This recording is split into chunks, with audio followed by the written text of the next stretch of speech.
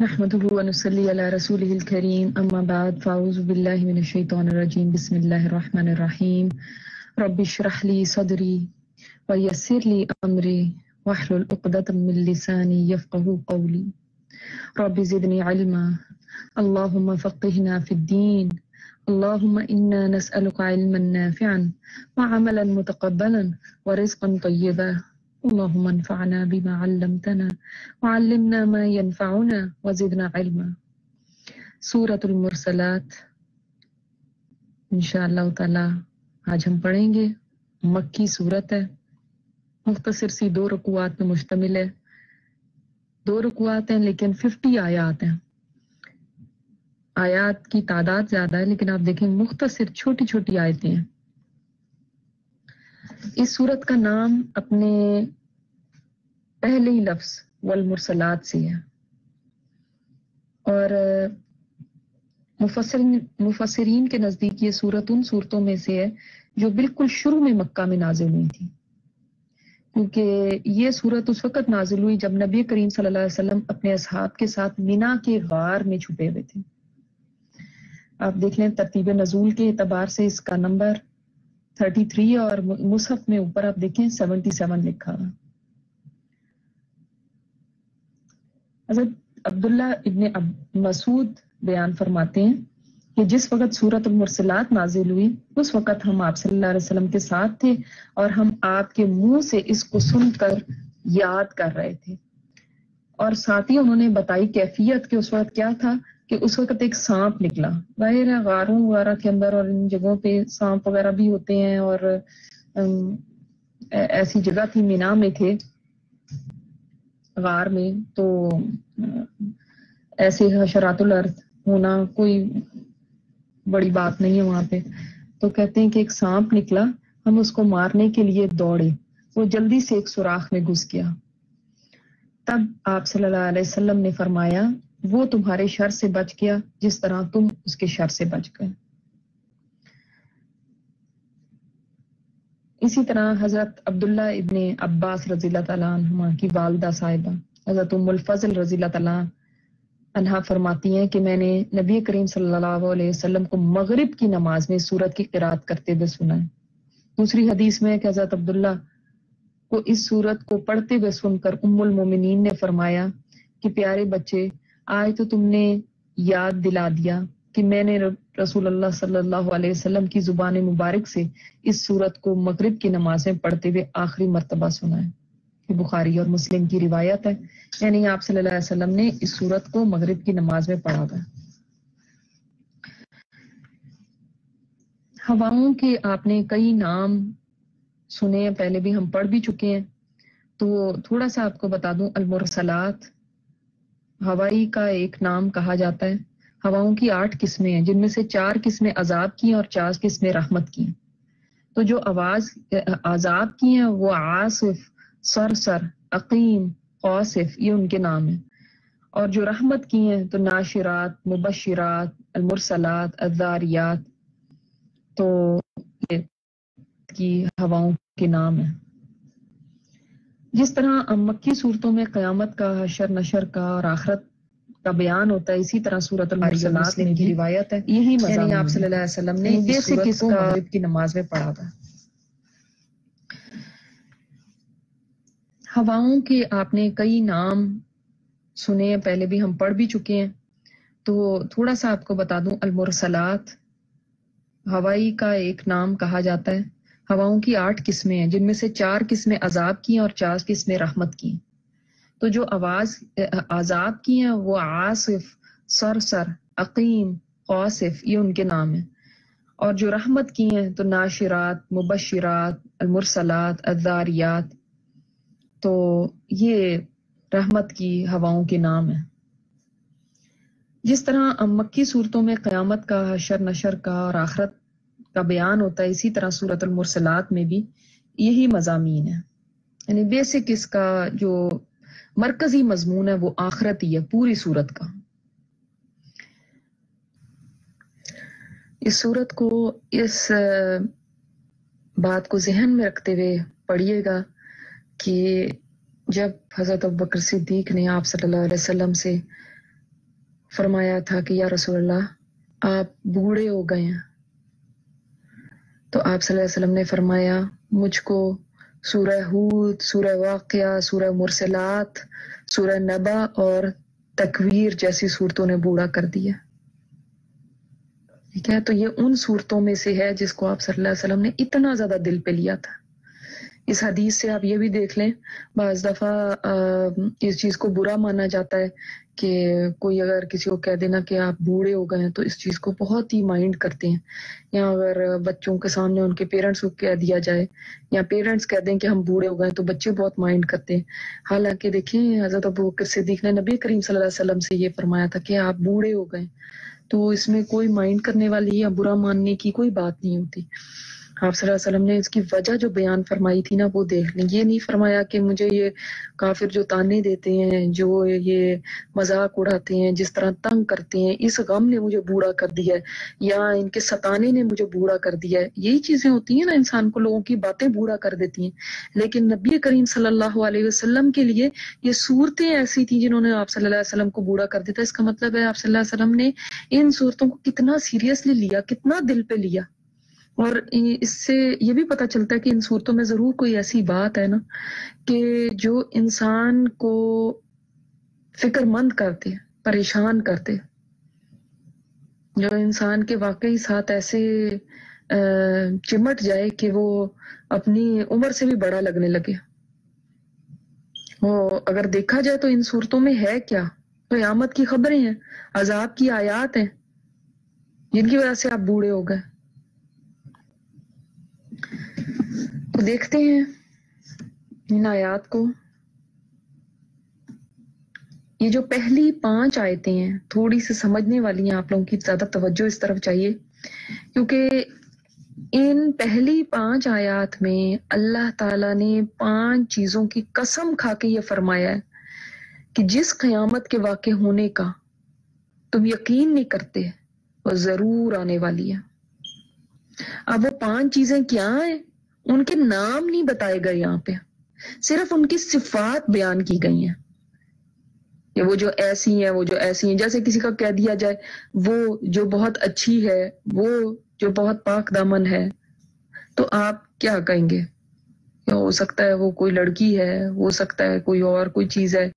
تو یعنی چیز کا نام نہیں بتایا کہ کیا چیز ہے، مگر اس کی صفات بتا دی۔ اسی لیے مفسرین کا اس میں تھوڑا سا اختلاف ہے۔ مختلف تفاصیر میں دیکھیں گے۔ کہیں پہ یہ لکھا گیا ہوگا کہ یہ جن چیزوں کی قسم کھائی گئی، یہ ہوائیں ہیں جن کی قسم کھائی گئی ہے۔ بعض مفسرین کہتے ہیں کہ نہیں، ہوائیں نہیں ہیں۔ اصل میں یہ فرشتے ہیں جن کی قسم کھائی گئی ہے۔ اور بعض نے کہا کہ یہ قرآن پاک ہے جس کی قسم کھائی گئی ہے اور بعض کہتے ہیں یہ انبیاء کرام ہے ہاں یہ ہے کہ اکثر زیادہ تر آپ دیکھیں گے کہ مفسرین نے یعنی جمہور مفسرین، میں نے آپ کو پہلے بھی جمہور کا لفظ کا مطلب بتایا تھا، جمہور مینس کے میجورٹی جو مفسرین کیا، انہوں نے یہ فرمایا ہے کہ جو پہلی تین صفات ہے نا یہ ہواؤں کی ہیں۔ یہ پہلی تین قسمیں جو پہلی تین آیتوں میں یہ ہوا کی قسم کھائی گئی ہے اور جو بعد کی دو ہیں وہ فرشتوں کی قسم ہے ٹھیک ہے؟ جی دیکھیں ہم سب کا ہی دیکھ لیتے ہیں کہ کیا اگر ہم ساری پانچوں قسمیں ہواؤں کی سمجھیں تو مشکلوں سے ہی پھر آگے جو دو لاسٹ کی دو ہیں۔ پھر مشکلوں سے ہی اس کی تفسیر ایسے کرنی پڑتی ہے کہ کھینچ تان کے جس کو کہیں گے۔ اور اگر شروع کی تین کو فرشتوں کی کر لیا جائے یہ ساری فرشتوں کی ہے تو پھر شروع کی تین آیات کو کھینچ تان کے ہی فرشتوں کے اس کے اندر فٹ کرنے کی کوشش کی جاتی ہے۔ حالانکہ شروع کی تین ہواؤں کے لیے اور باقی کی دو فرشتوں کے لیے۔ یہ میجورٹی کا خیال ہے۔ اور کیف ہم دیکھ لیتے ہیں۔ والمرسلاتی قسم ہے ان بھیجی ہوئیوں کی۔ اب دیکھیں یہاں پہ ہوا کا نہیں ہے، نام نہیں آیا، جو بھیجی ہوئی ہیں۔ اور فا پے در پے۔ یعنی ان ہواؤں کا ذکر ہے جو ہوائیں مسلسل چلتی رہتی ہیں۔ ایک کے بعد ایک جھونکا آتا ہے۔ اور عرفا کا اگر مانا نیکی لیں، بھلائی لیں، تو جو ہوائیں نیکی اور بھلائی کے ساتھ چلتی ہیں۔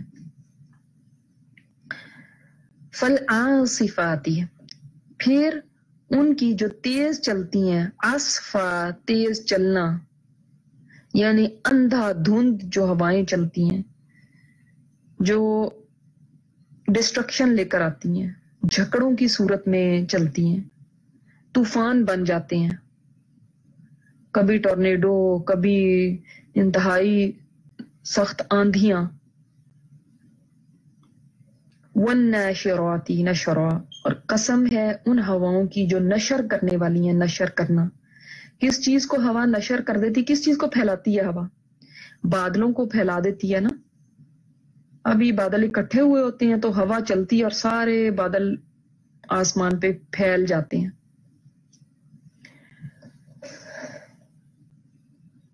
فل فارقات پھر جدا کرنے والیاں، جدا کرنا۔ اگر اب جدا کرنے والیوں سے مراد ہوائی اگر ہم لے لیں، تو مطلب یہ ہے کہ وہ ہوائیں جو ان بادلوں کو الگ کر الگ کر دیتی ہیں۔ پھاڑ کے ٹکڑے ٹکڑے کر دیتی ہیں۔ لیکن اگر ہم اس کا، جیسے میں نے آپ کو بتایا کہ جمہور مفسرین کا خیال ہے کہ یہ فرشتوں کی بات ہے۔ تو وہ فرشتے جو حق اور باطل کے درمیان فرق کرنے والے احکامات لے کر اترتے ہیں۔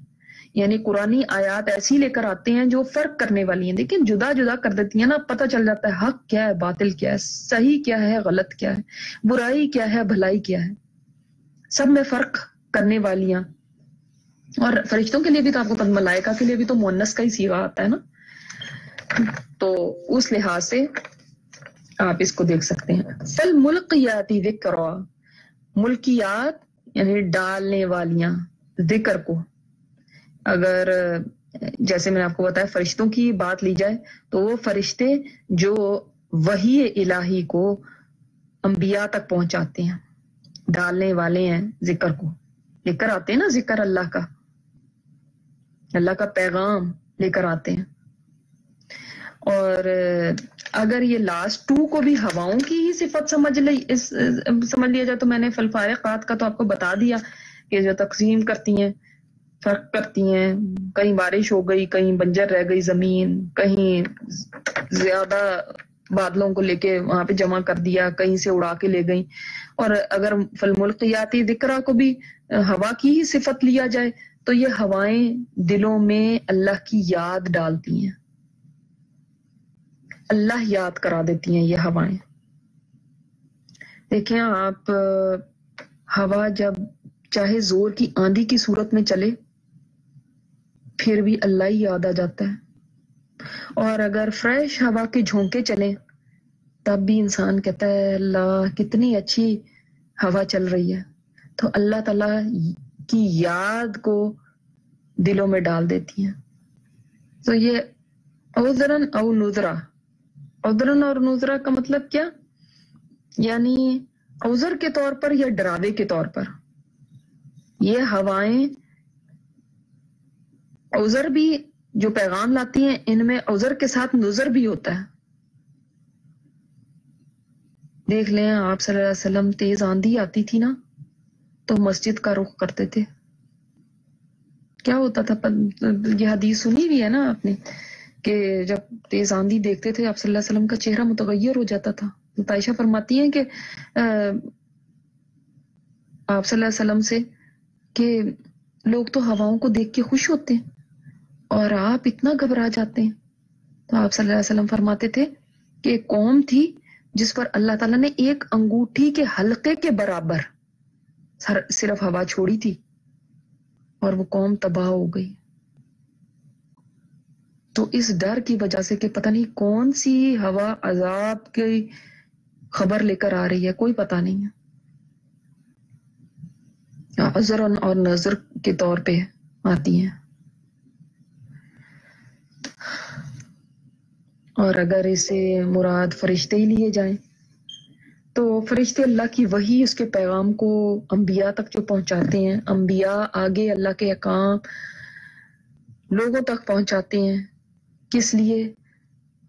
تاکہ لوگوں کے پاس کوئی عذر نہ رہ جائے، کوئی اسکیوز نہ رہ جائے۔ اور ڈراوے کے طور پہ یہ لا کے لوگوں کو بتاتے ہیں کہ اگر تم نے نہیں مانا تو اللہ کا عذاب آ جائے گا۔ یہ وہی اس لیے آتی ہے۔ دیکھیں، جب اللہ کی وہی پہنچ جائے لوگوں تک، اللہ کی بات پہنچ جائے لوگوں تک نا تو اب لوگوں کے پاس اللہ تعالیٰ کے ہاں پیش کرنے کے لیے کوئی عذر نہیں رہ جائے گا۔ کوئی بہانہ، کوئی ایکسکیوز نہیں رہے گا۔ کوئی یہ نہیں کہہ سکے گا، اللہ تعالیٰ ہمیں نہیں پتا تھا۔ ہمیں کسی نے نہیں بتایا۔ اچھا اس کا مطلب یہ نہیں ہے۔ حاض لوگ بےچارے بولے لوگ کہتے ہیں ہم اسی لیے نہیں پڑھتے تاکہ پھر ہم جا کے وہاں پہ کہہ دیں کہ اللہ ہمیں تو پتہ ہی نہیں تھا۔ تو یہ باتیں، یہ مراد نہیں ہے یہاں پہ۔ مراد یہ کہ جب یہ آ گیا نا پیغام، ہے تو صحیح نہ موجود۔ ہر گھر میں رکھا ہوا ہے، ہر جگہ پہ، کسی کے گھر میں نہیں بھی ہے، تو ریڈیلی اویلیبل ہے۔ کوئی انسان یہ نہیں کہہ سکتا کہ اللہ ہم تک پہنچا نہیں۔ ہاں اسی کے اوپر الزام آئے گا کہ تم نے کوشش نہیں کی کہ تم اس کو جانو۔ یہ تو الٹا اس کے اوپر ہی الزام آئے گا نا، ورنہ اللہ تعالیٰ نے تو اپنا پیغام ایز اٹ از وہی دیکھیں پرزرو ہے۔ ویسے ہی ویسے ہم تک پہنچی ہے، جیسے نبی کریم صلی اللہ علیہ وسلم کے اوپر اتری تھی۔ تو اس میں عذر کے طور پر بھی ہے، تاکہ اللہ تعالیٰ حجت تمام کر دے۔ اب کوئی نہ یہ کہہ سکے کہ ہم، ہمارے پاس کوئی ایکسکیوز ہے نہ ماننے کا، یا کسی نے بتایا نہیں، یا ہم تک پہنچا نہیں، یا ہمیں تو پتہ ہی نہیں چلا، یہ کوئی نہیں کہہ سکے گا۔ جس نے آج کے وقت میں بھی ایسا کوئی اپنے لیے ایکسکیوز تیار کیا ہوا ہے، وہ بھی غور سے سن لے۔ یہ ایکسکیوز کام نہیں آنے کا۔ کیونکہ الٹا اس کو مجرم ثابت کیا جائے گا وہاں پہ کہ تم نے نہیں کوشش کی۔ کہ آگے بڑھ کے اس کا حق ادا کرتے تھے۔ تم نے نہیں کوشش کی کہ تم آگے ہو کے اس کو سیکھتے، اس کو سمجھتے۔ یہ تو تھا موجود تمہارے زمانے میں، تمہارے وقت میں۔ قرآن اٹھا نہیں لیا گیا، آج ہے۔ تو کوئی یہ نہیں کہہ سکتا کہ اللہ تعالیٰ ہم تک بات آئی نہیں، تیرا کلام پہنچا ہی نہیں۔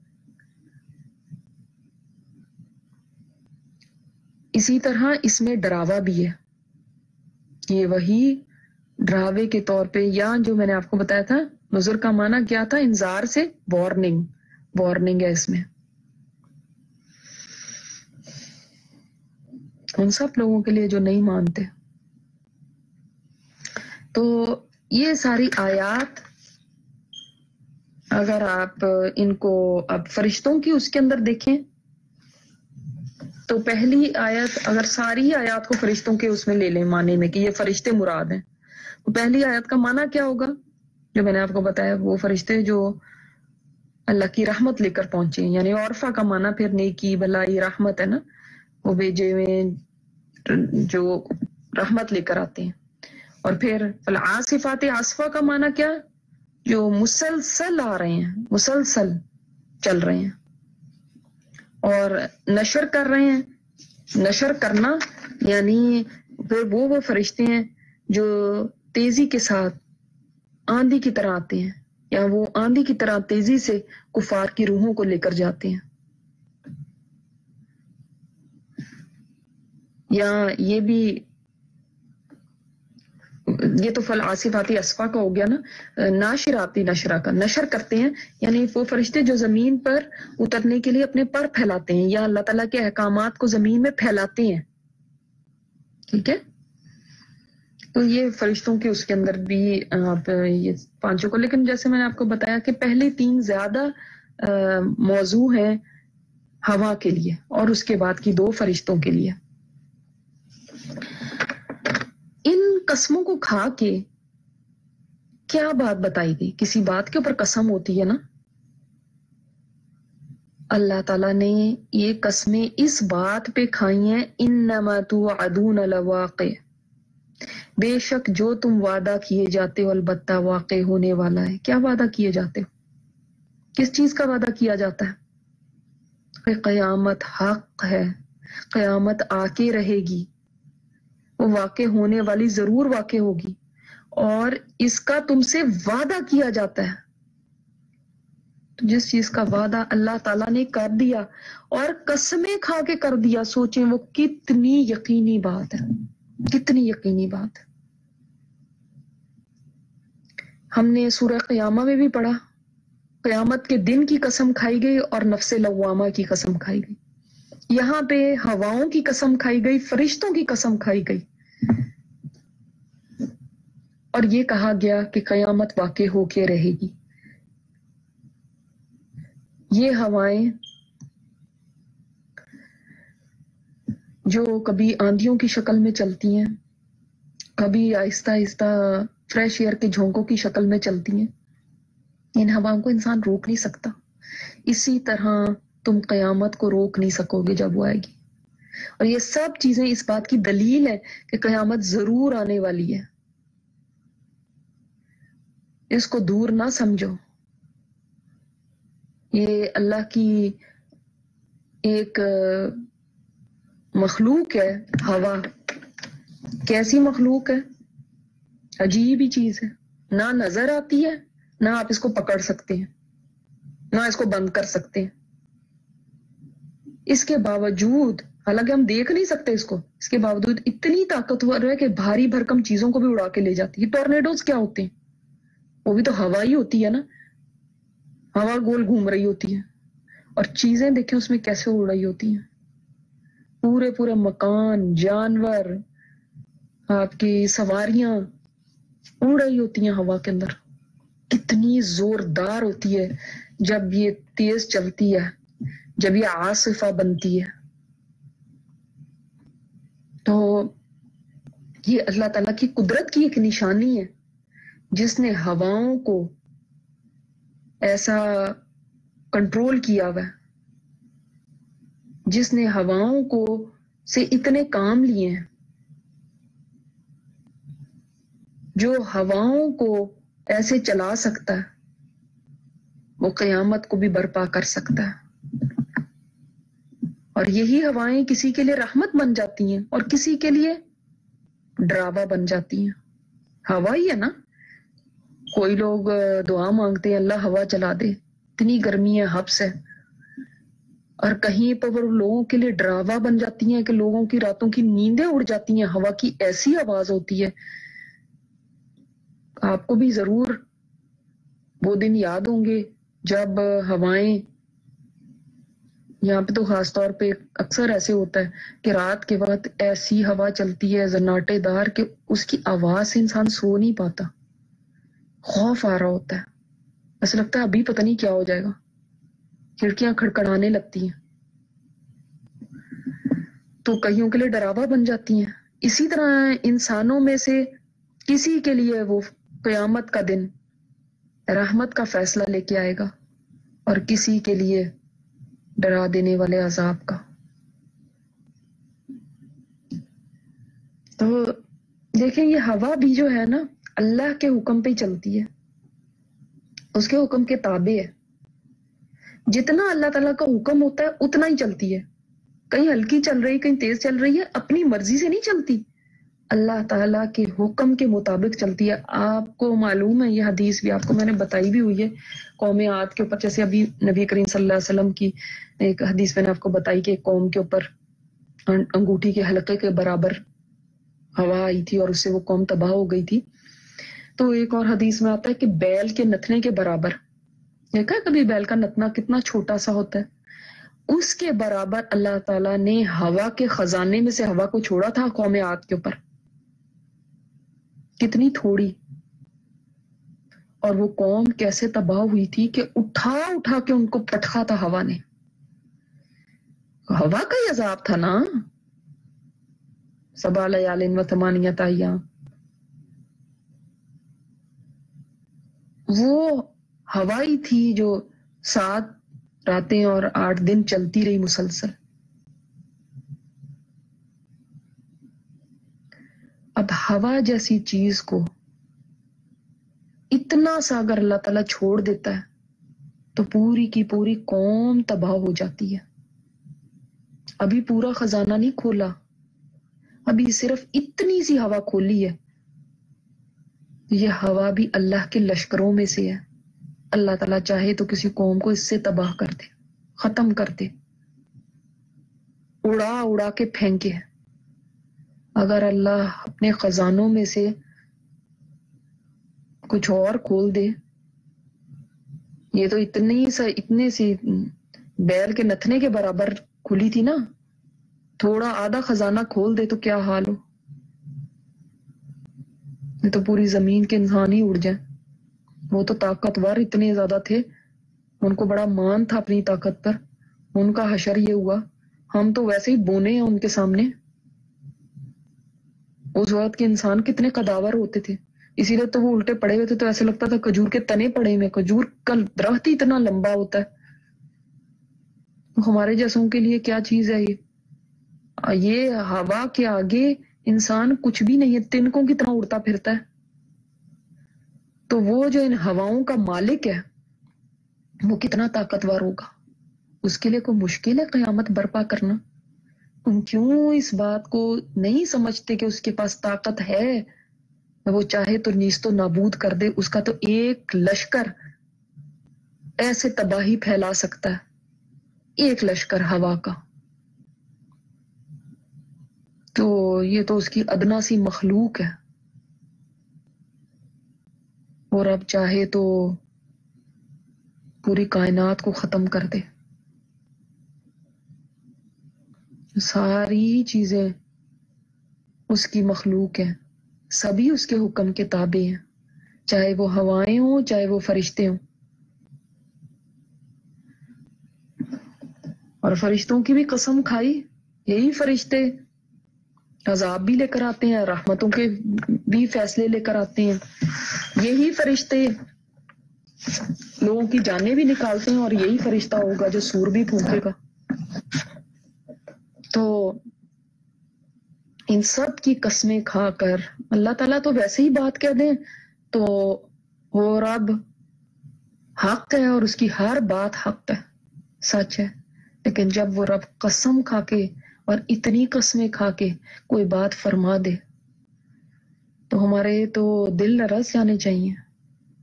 اس بات سے کہ ہمارے رب نے قسم کھا لی۔ اس کا مطلب یہ تو بات ضرور ہوگی۔ کوئی قسم کھا کے کہہ دینا کہ اب میں تجھے چھوڑوں گا نہیں۔ تو آپ سہم جاتے ہیں۔ حالانکہ وہ انسان ہے کیا پتا کل تک رہتا بھی ہے نہیں۔ وہ کہہ دینا میں اب اب, اب بس دیکھ لو میں قسم کھاتی ہوں کہ اب نہیں۔ تمہیں میں ختم کر کے رہوں گی۔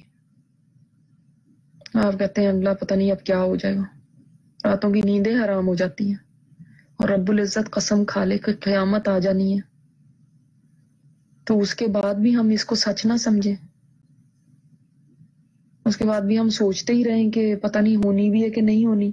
کسی نے آ کے بتایا تو نہیں ہے۔ باتیں ہی ہیں شاید اسی طرح۔ یہ ہمارے لیے صرف چند ایک آیتوں کے سوا اور کچھ نہ رہے۔ ہمیں پھر بھی خوف نہ آئے۔ یہ بار بار اسی لیے بتایا جا رہا ہے تاکہ آپ اس کی تیاری کر لو۔ کوئی نہ جا کے اس دن یہ کہے ہمیں کیا پتا تھا ایک دن حساب کتاب ہونا ہے، ہمیں کیا پتا تھا ہمیں ایک دن کھڑا کیا جانا ہے۔ جب رب نے کھول کھول کے بتا دیا، اس کے بعد بھی کوئی گنجائش ہے کہ کوئی انسان انکار کر سکے یا یہ کہہ سکے کہ مجھے نہیں پتا تھا۔ کیا ہوگا اس دن؟ کیسا ہوگا وہ دن؟ فائدن نجوم تو فیصد پھر جب تارے مٹا دیے جائیں گے۔ قیامت کا نقشہ کھینچا جا رہا ہے کہ جب سور پھونکا جائے گا نا، تو یہ ستارے جو تم ٹمٹماتے دیکھتے ہو، ان کی روشنی چلی جائے گی۔ بلکہ تم ست ہے یعنی مٹا دیے جائیں گے۔ صرف روشنی ختم نہیں ہوگی، ان کا وجود ہی مٹ جائے گا۔ نام و نشان تک نہیں رہے گا۔ ایسے لگے گا جیسے کبھی تھے ہی نہیں۔ اتنے اتنے بڑے سٹارز آج تو سائنس بتاتی ہے نا کہ آپ کا سورج تو ایک چھوٹا سا ستارہ ہے۔ اس سے تو بہت بڑے بڑے ستارے ہیں موجود، بہت بڑے بڑے، کئی گنا بڑے۔ واللہ عالم، کوئی بلیک ہول ہوگا جس میں وہ سب چلے جائیں گے؟ یا کیا ہوگا؟ اور آپ کو تھوڑا بھی شگف ہے اس چیز سے تو آپ کو معلوم ہوگا بلیک ہولز کیا ہیں۔ اور ان کے اندر کوئی چیز چلی جائے تو ختم ہے وہ۔ تو ستارے اس دن مٹا دیے جائیں گے، مٹ گئے ستارے۔ ہم کبھی سوچ سکتے ہیں؟ کہ یہ جہان، یہ نظام، یہ سسٹم کبھی ختم ہو سکتا ابھی آپ امیجن کر سکتے ہیں کہ ان کا نام و نشان بھی نہ رہے۔ لیکن پتہ ہے یہ پھر بھی اچھے ہیں کہ مٹ جائیں گے، اور ان کا کوئی حساب کتاب نہیں ہوگا۔ ان کے لیے کوئی جہنم نہیں ہے، ان کی کوئی پوچھ گچھ نہیں ہے۔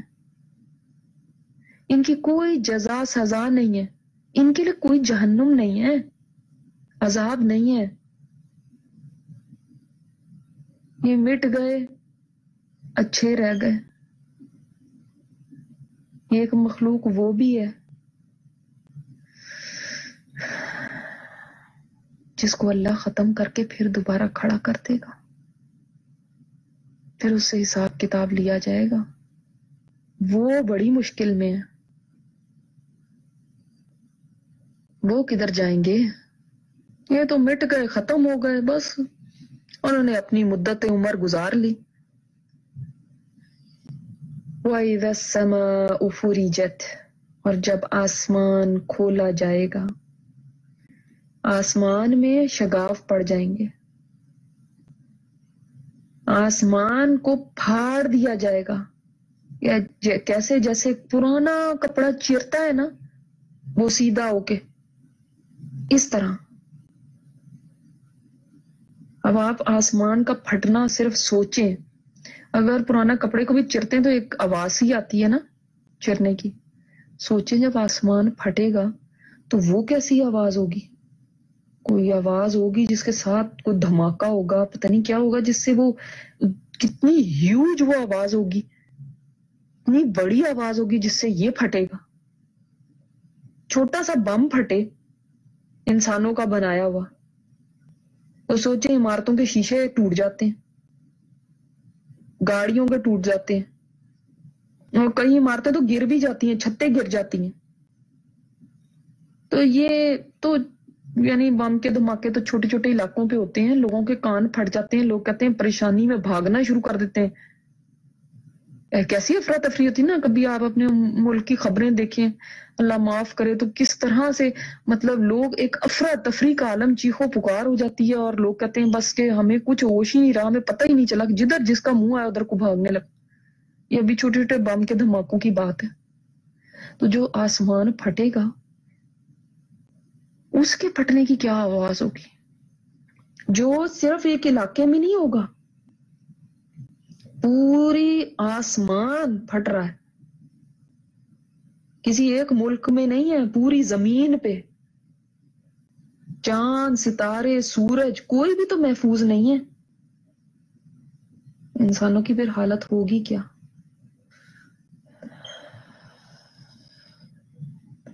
وَإِذَا الْجِبَالُ نُصِفَتْ اور جب پہاڑ اڑا دیے جائیں گے۔ یہ پہاڑ ریت بن کے اڑیں گے۔ یعنی سارا نظام ہی تو تلپٹ ہو جائے گا۔ سب چیزیں جو آپ کو آج نظر آ رہی ہیں نا، جیسی ایسی نہیں رہیں گی۔ ہر چیز کی تباہی بتاتی ہے کہ اختیار اللہ کا ہے۔ وہ جب تک چاہے گا یہ جہان چلے گا، جب چاہے گا یہ سب ختم ہو جائے۔ گا آپ دیکھیں نا، آسمان خود کتنا بڑا ہے۔ تو سوچیں کہ اس کو جو قوت پھاڑ سکتی ہے، وہ طاقت کتنی بڑی ہوگی؟ امیجن کر سکتے ہیں۔ ستارے کتنے بڑے ہیں۔ آپ کے سورج سے بھی بڑے جو ستارے ہیں، جو ان کو مٹا سکتا ہے، وہ رب کتنا بڑا ہوگا؟ ان تاروں سے بھی کتنا بڑا؟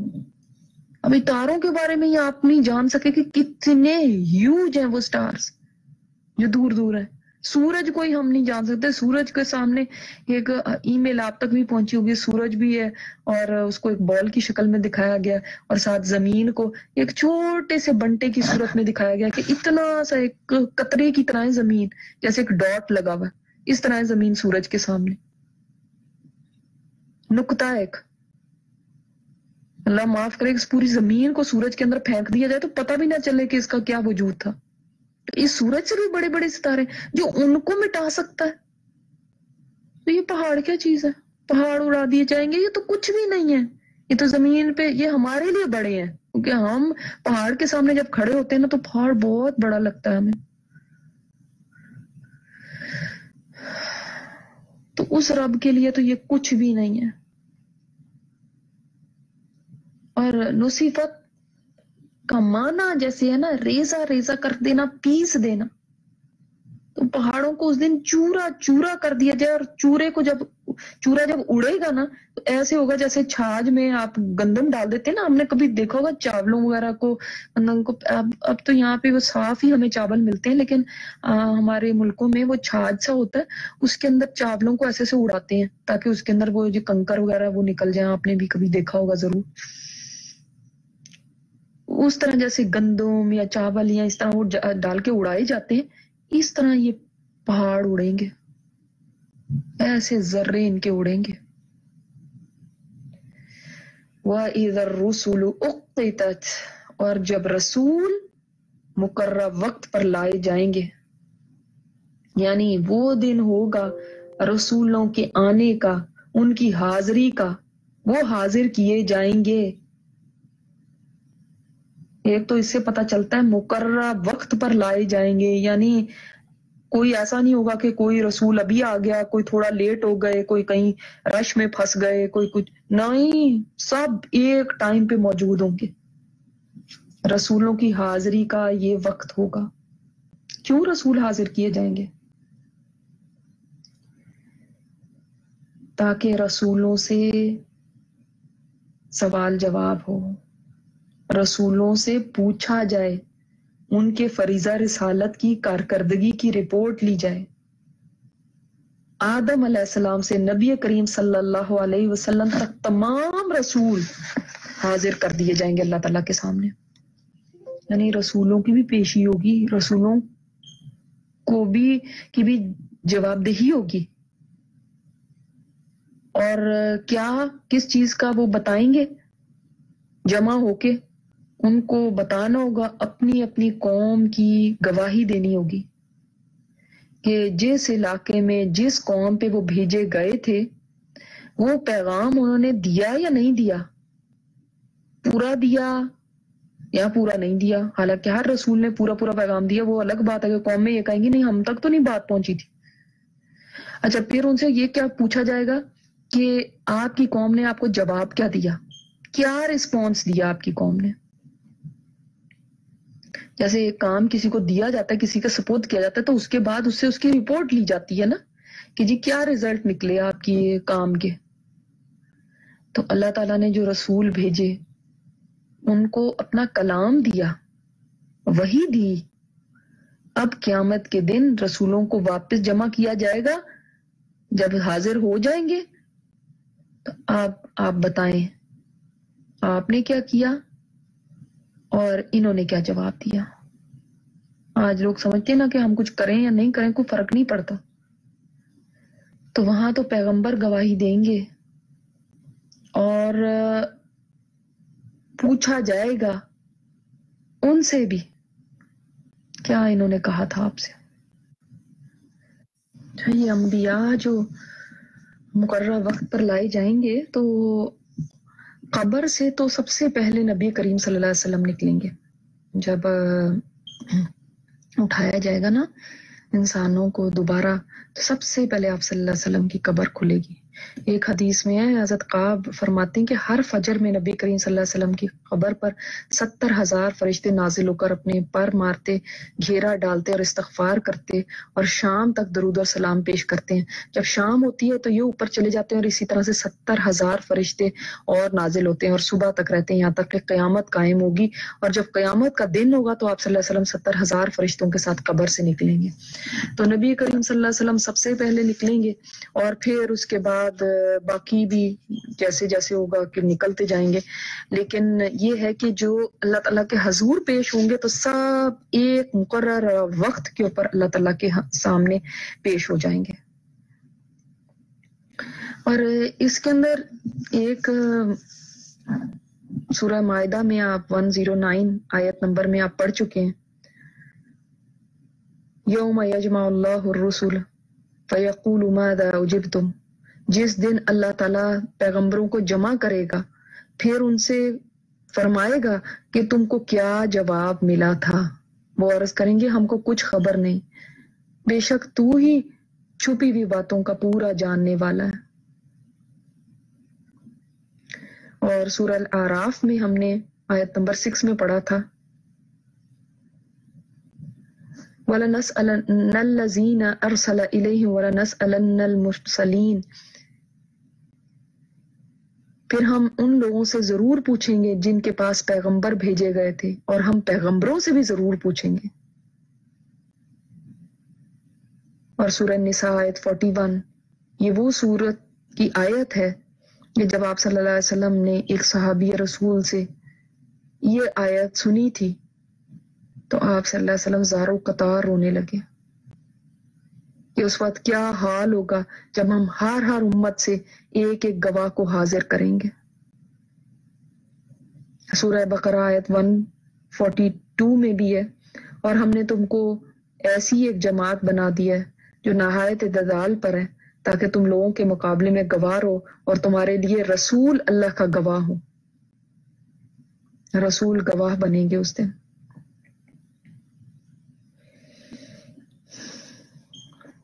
تو ایک حدیث میں آتا ہے، آپ صلی اللہ علیہ وسلم نے ارشاد فرمایا، قیامت کے دن نو علیہ السلام کو بلا کے پوچھا جائے گا، کیا آپ نے میرا پیغام رسالت لوگوں تک پہنچا دیا تھا؟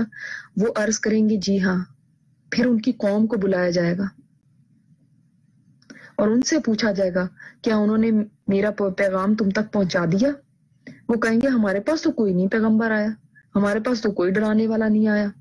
نو علیہ السلام سے پوچھا جائے گا کہ آپ کے لیے کوئی گواہی دینے والا ہے؟ وہ عرض کریں گے، محمد صلی اللہ علیہ وسلم، آپ کی امت میرے حق میں گواہی دیں گے۔ تو اسی کے متعلق اللہ تعالیٰ نے فرمایا نا، اسی طرح ہم تم میں سے درمیانی امت تم کو بنا دیں گے۔ یعنی امت مسلمہ کو یہ گواہی دے گی نا۔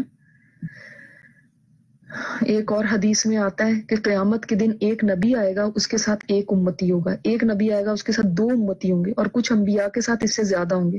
ان کی قوموں کو بلا کے ان سے پوچھا جائے گا، کیا انہوں نے تمہیں پیغام رسالت پہنچا دیا تھا؟ وہ کہیں گے، نہیں۔ اتنے معصوم بن جائیں گے نا لوگ، وہاں پہ بھی جا کے جھوٹ بولنا نہیں چھوڑیں گے۔ پھر اس نبی سے پوچھا جائے گا، کیا آپ نے اپنی امت کو پیغام پہنچایا تھا؟ یعنی نبیوں کی بھی دیکھیں اکاؤنٹیبلٹی ہے۔ وہ فرمائیں گے جی ہاں۔ ان سے کہا جائے گا، اس کی کوئی گواہی دینے والا ہے؟ وہ کہیں گے ہاں محمد صلی اللہ علیہ وسلم اور آپ کی امت گواہی دیں گے۔ تو آپ صلی اللہ علیہ وسلم اور آپ کی امت کو بلایا جائے گا اور ان سے کہا جائے گا، کیا اس نبی نے اپنی قوم کو پیغام پہنچایا تھا؟ وہ وہ کہیں گے جی ہاں۔ ان سے پوچھا جائے گا، آپ کو کیسے علم ہے وہ عرض کریں گے، ہمارے پاس ہمارا نبی آیا، اس نے ہمیں بتایا کہ رسولوں نے اپنا پیغام پہنچا دیا تھا۔ اسی کے متعلق اللہ تعالیٰ نے ارشاد فرمایا نا کہ ہم تمہارے تمہیں امت وسط بنائیں گے۔ تاکہ تم لوگوں پر گواہ ہو اور رسول تم پر گواہ ہو۔ تو اس سے یہ پتہ چلتا ہے کہ گواہیاں ہوں گی، پیغمبروں سے بھی پوچھا جائے گا، امتوں سے بھی پوچھا جائے گا۔ اور امت مسلمہ نے دوسری امتوں پہ تبھی گواہی دینی ہے یا دینے کے قابل ہوں گے، جب واقعی ان کو پتا ہوگا کہ ان کے رسول نے ان کو کیا بتایا۔ اور جن لوگوں کو یہ پتہ ہی نہیں ہے کہ قرآن کیا کہتا ہے، جن کو یہ پتہ ہی نہیں ہے کہ پیغمبروں نے امتوں کو کیا بتایا اور امتوں نے کیا جواب دیا۔ آج بہت سے مسلمان ہیں، خود کو مسلمان کہتے ہیں، ان کو تو یہ معلوم نہیں۔ ان کو یہی تک معلوم نہیں کہ کون سے پیغمبر آئے، کن کا ذکر قرآن میں ہے۔ کیا ان کی قوموں نے جواب دیا؟ انہوں نے کیا کچھ بھی نہیں معلوم۔ وہ کس چیز کی گواہی دیں گے جس کا ان کو علم ہی نہیں ہے؟ گواہ تو وہی بن سکتا ہے نا جو کسی بات کو جانتا ہے۔ تو یہ کیا جانتے ہوں گے؟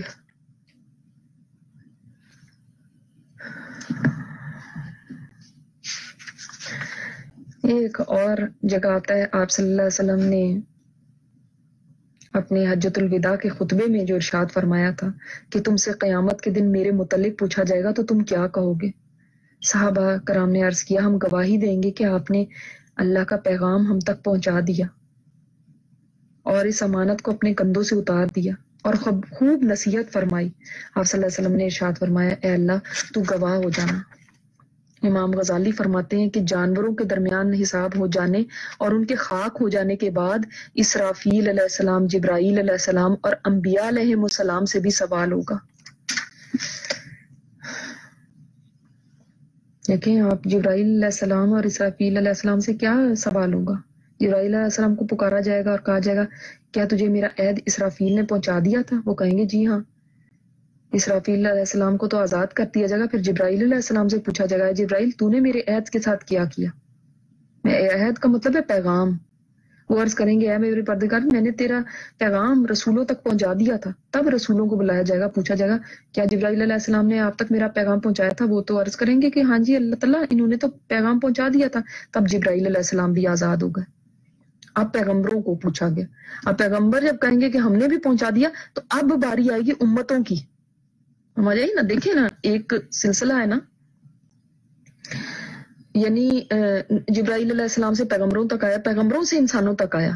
تو جو جس جس نے اپنا کام کر دیا، وہ تو آزاد ہو گیا۔ اب ان دا اینڈ آ کے امتوں کو کہا جائے گا اچھا تم تک پیغام پہنچ گیا، تو تم نے پھر کیا کیا؟ وہ آگے سے کیا جواب دیں گے؟ انہوں نے تو ماننا ہی نہیں تھا۔ تو کیا کہہ سکیں گے پھر وہ؟ تب ان کی پکڑ آئے گی، تب ان کی شامت آئے گی۔ بالکل ایسے ہی ہے کہ مثلاً ہے کہ کوئی آدمی کسی کو بھیجے کہ جاؤ بھائی میرا یہ پیغام لے کے فلاں کے پاس جاؤ۔ مثلاً ہے کہ کوئی کہے کہ احمد، تم میرا پیغام علی کو پہنچا دو۔ ٹھیک ہے؟ اور اس کو یہ یہ کہہ دو۔ اچھا پھر آپ کچھ دن بعد آپ کو پتا چل رہا ہے کہ علی نے تو وہ کام کیا ہی نہیں۔ جو آپ نے پیغام بھیجا تھا۔ تو اب آپ جا کے علی سے پوچھتے ہیں کہ آپ نے یہ کام کیوں نہیں کیا؟ جب میں نے آپ کو کہا تو آپ کیوں آپ نے اس کام کو چھوڑ دیا؟ اب اگر علی کہتا ہے کہ مجھے تو احمد نے پیغام دیا ہی نہیں تھا تب آپ جا کے احمد کو پکڑیں گے۔ تم نے کیوں نہیں پیغام دیا؟ میں نے تمہیں اتنا امپورٹنٹ پیغام دے کے بھیجا تھا، تم نے کیوں نہیں پہنچایا اس تک؟ اگر وہ کہہ دیتا میں نے تو پہنچا دیا، تب آپ واپس علی کے پاس جائیں گے۔ کہیں گے وہ اس نے تو کہا ہے کہ میں نے پیغام پہنچا دیا تھا۔ تم نے نہیں کیا۔ اب شامت اس کی آئے گی۔ اسی طرح یہاں پہ ہے کہ اللہ تعالیٰ نے اپنا پیغام فرشتوں کو جبرائیل علیہ السلام کو دیا۔ جبرائیل حالانکہ اللہ تعالیٰ ہر چیز کا خود گواہ ہے، لیکن حجت تمام کرنے کے لیے کہ اب ان لوگوں کے سامنے آ جائے۔ دیکھو اللہ تعالیٰ نے جبرائیل علیہ السلام کو بھی پوچھا، اس کے بعد انہوں نے کہہ دیا کہ ہم نے اپنی ڈیوٹی پوری کر دی۔ تو اب وہ بری ذمہ ہے۔ جیسے اب احمد بری ذمہ ہو گیا کیونکہ احمد نے اپنا کام کر دیا تھا۔ کام علی نے نہیں پورا کیا۔ تو پکڑ اس کی ہوئی پھر۔ تو اسی طرح جبرائیل علیہ السلام نے اپنا پیغام کا اپنا فریضہ انجام کر دیا۔ وہ آزاد ہو گئے۔ اب پوچھ انبیاء کی ہے۔ پھر انبیاء نے بھی اپنا کام پورا کر دیا۔ تو اب پوچھ لوگوں کی ہے۔ اب لوگوں، تم نے کیا کیا اس پیغام کے ساتھ؟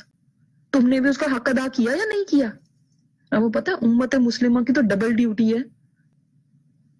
اب تم نے کیا کیا؟ قرآن کا تو حق یہ تھا کہ تم اس کو لے کر اب پھیلاتے۔ تم نے اپنا کام کیا یا نہیں کیا؟ کیونکہ یہ جو کافر ہے نا، یہ اس دن کہیں گے کہ یا اللہ، ان کے پاس تو پیغام تھا، انہوں نے تو ہمیں بتایا ہی نہیں۔ ان کی اپنی تو سزا ان کو ملے گی ہی ملے گی، جو انہوں نے کفر کیا، یہ نہیں کہ وہ اس وجہ سے بچ جائیں گے۔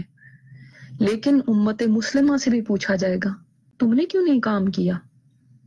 تمہارا پیغمبر تمہیں پیغام دے کے چلا گیا تھا۔ تمہارا کام تھا کہ اس کو لے کر دنیا میں پھیلاؤ۔ ہم سے بھی پوچھا جائے گا۔ ہم اس کو لے کر خود ہی بیٹھ گئے، خزانے کے سام بن کے۔ ہمارے پاس اتنا بڑا خزانہ ہے۔ اس کو ہم آؤٹ کرنا ہی نہیں چاہتے۔ خود ہی نہیں، ہمیں پتا تو ہم دوسروں کو کیا بتائیں گے۔ اور نہ ہی اس کو کبھی ہم نے اپنی ذمہ داری سمجھا ہے۔ ہماری بلا سے کسی تک پہنچے یا نہیں پہنچے، ہمیں کیا؟ ہمارے تک تو خود ہی نہیں پہنچا۔ ہم تو خود ہی لینا نہیں چاہتے۔ تو یہ بہت اہم بات ہے۔ ایک کے بعد ایک تو بری ذمہ ہوتا جائے گا۔ پھنس وہ جائے گا جس نے ان دا اینڈ آ کے اپنا کام نہیں کیا۔ جو چین میں آخری تھا نا لنک اس نے گڑبڑ کی۔ پہلے سب نے تو اپنا کام کر دیا دیکھیں، آپ صلی اللہ علیہ وسلم کے بعد صحابہ کرام کہاں کہاں تک اس پیغام کو لے کر پہنچے؟ آج دیکھیں کسی کی قبر چین میں ہے تو کسی کی افریقہ میں ہے، کسی کی فلسطین میں ہے، کسی کی شام میں ہے، کدھر کدھر وہ گھومے؟ اس پیغام کو لے کر ہی گھومتے رہے نا اور کیا تھا ان کے پاس؟ اللہ تعالیٰ نے ہمیں یہ چانس دیا کہ ہم اس پیغام کو آگے بتا سکتے ہیں۔ ایک آیت ہی بتاؤ، چاہے تمہیں ایک آیت ہی آتی ہو۔ وہی آگے پھیلا دو۔ لیکن ہم نہ ہم کچھ سیکھتے ہیں، نہ کچھ پھیلانے کو اپنی ذمہ داری سمجھتے ہیں۔ تو دیکھیں، پیغمبروں کی بھی جواب دہی ہونی ہے، اس سے آپ اندازہ لگا لیں گے پھر ہمارے اوپر کتنا بڑا یہ جرم ہوگا کہ انہوں نے نہیں بتایا تھا۔ یومن اجلت؟ کس دن کے لیے وعدہ دیے گئے؟ یعنی ایک سوالیہ انداز بھی ہے کہ کس دن کے لیے یہ وعدہ دیے گئے تھے؟ یعنی یہ سارا معاملہ کس دن کے لیے اٹھا کے رکھا گیا تھا؟ آپ کو پتا نا، کافر کہتے تھے، کب آئے گی قیامت؟ بھی آئے گی کب؟ یہ تو آپ ہمیں روز آئے دن کہتے رہتے ہیں، قیامت آنی قیامت آنی ہے، تو کب آئے گی؟ کب آ رہی قیامت؟ تو یہ بتایا گیا کہ اس دن کے لیے اتنی دیر انتظار اللہ تعالیٰ نے کروایا اس حساب کتاب اور جواب دہی کے لیے اس دن کو مقرر کیا گیا تھا۔ جو دنیا میں اتنا ڈیلے ہو رہا تھا نا، وہ کس دن کے لیے دیا وعدہ دیے گئے تھے؟ اس دن کے لیے۔ یعنی اتنے عرصے یہ جو رسول کہتے رہے کہ آنی آنی، قیامت وہ یہ دن تھا۔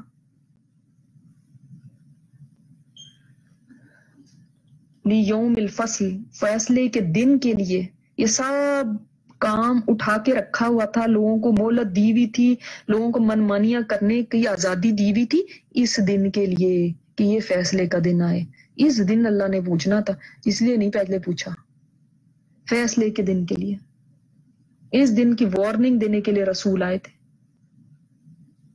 جیسے سیلاب آتے ہیں، طوفان آتے ہیں، پہلے سے لوگوں کو وارننگ دے دی جاتی ہے نا کہ کوئی بڑا طوفان آنے والا ہے۔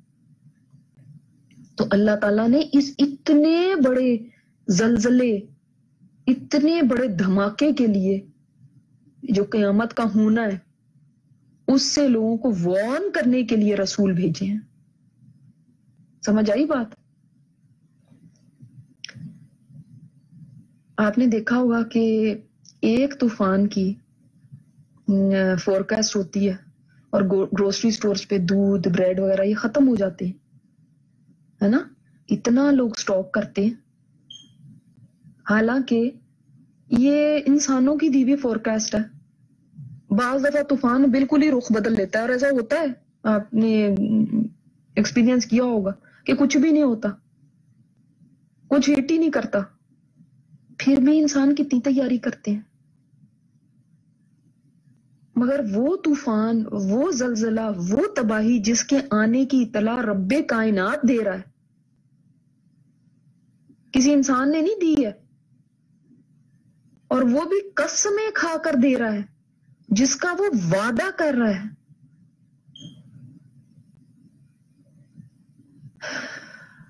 اور ایسا طوفان، ایسی تباہی جس سے کوئی بچے گا نہیں، کوئی علاقہ نہیں بچے گا۔ یہ تو ابھی ہے نا کہ یہ اس علاقے کو ہٹ ہوگا اور اس کو نہیں ہوگا اور اس کو ہوگا۔ اس سے تو کوئی علاقہ بچ ہی نہیں سکتا۔ پھر بھی لوگوں کی تیاری کیا ہے؟ سوچیں۔ پھر بھی انسانوں کے یقین کا عالم کیا ہے؟ اس خبر کے اوپر اتنا بھی یقین نہیں ہے جتنا یقین کسی ماہر موسمیات پہ لوگ کرتے ہیں۔ کیونکہ یقین ہوتا تو ہم یوں بے فکرے تو نہ ہوتے۔ ایسے یوں آزادی کی زندگی نہ گزارتے۔ پھر اس دن کے خوف سے ہم کانپتے رہتے۔ اس دن کی ہم تیاری کرتے۔ اس دن کے عذابوں سے بچنے کے لیے دعائیں کرتے۔ اللہ کے آگے روتے۔ اپنے عمل کو درست کرتے۔ مسئلہ یہ کہ ہمیں اس دن کا یقین نہیں۔ ہے اللہ تعالیٰ فرماتے، اس دن کے لیے میں نے یہ ساری کاروائی اٹھا کے رکھی ہوئی ہے۔ اس دن کے لیے اللہ تعالیٰ آج نہیں پکڑ رہے، کیونکہ وہ دن آنا ہے، اس دن اللہ نے پوچھنا ہے۔ کما یوم الفصل، تمہیں کیا پتا کہ فیصلے کا دن وہ کیا ہے؟ تمہیں پتہ ہی نہیں ہے کہ وہ دن ہے کیسا۔ جس کے بارے میں سورہ شورہ میں پڑھا تھا یاد ہے آپ کو؟ فریقوں فی الجنہ و فریقوں فی السعیر۔ وہ وہ دن ہوگا جب ایک گروہ جنت میں ہوگا اور ایک فریق ہوگا سائر میں، جلتی آگ میں ہوگا۔ یعنی تیسری تو کوئی جگہ ہے نہیں۔ دو ہی گروپس ہوں گے، ایک گروپ جنت میں اور ایک جل رہا ہوگا جہنم میں۔ یہ وہ دن ہے۔ فیصلے ہو جائیں گے جب۔ کسی کے یہ کیا فیصلہ ہوتا ہے؟ یہ تو آج نہیں پتا۔ پھر کتنے آرام سے ہم بیٹھے ہیں۔ اور فصل سے مراد اگر جدائی لی جائے، فاصلے سے ہے نا، تو جدائی کا دن ہے۔ اس دن سب کے درمیان جدائیاں ہو جائیں گی۔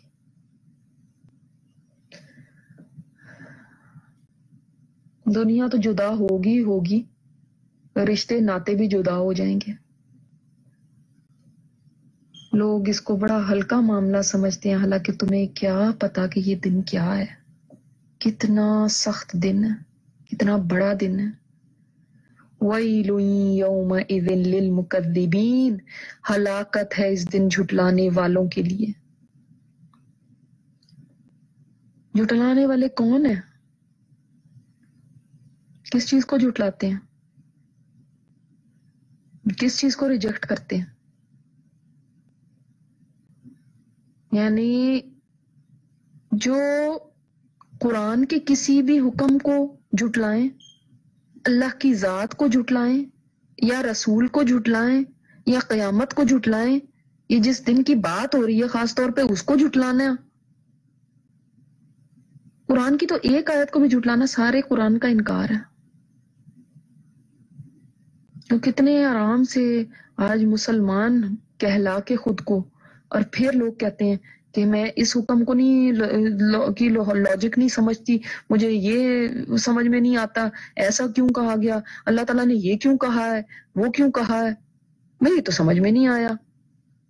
بھلا اس چیز کو حرام کرنے کی کیا لاجک ہو سکتی ہے؟ بھلا اس کی کیا ضرورت تھی؟ یہ سب جھٹلانا ہی تو ہے کہ میں نہ مانوں۔ ویل ہے ایسے لوگوں کے لیے ویل ویل ویل، ہلاکت، تباہی، بربادی، خرابی۔ اور ویل سے مراد جہنم کی ایک وادی بھی ہے، جس کے بارے میں آتا ہے کہ جس میں جہنمیوں کا کچ لہو بہتا ہے۔ اور اس میں اگر پہاڑ کو بھی چھوڑ دیا جائے اتنی سخت وہ گرم ہے، اتنی سخت وہ گرم ہے کہ پہاڑ کو بھی چھوڑ دیا جائے تو وہ بھی اس کی گرمی سے پگھل جائے۔ عطا بن یسار نے فرمایا کہ ویل جہنم کے کچلہو سے بھری ہوئی ایک وادی ہے۔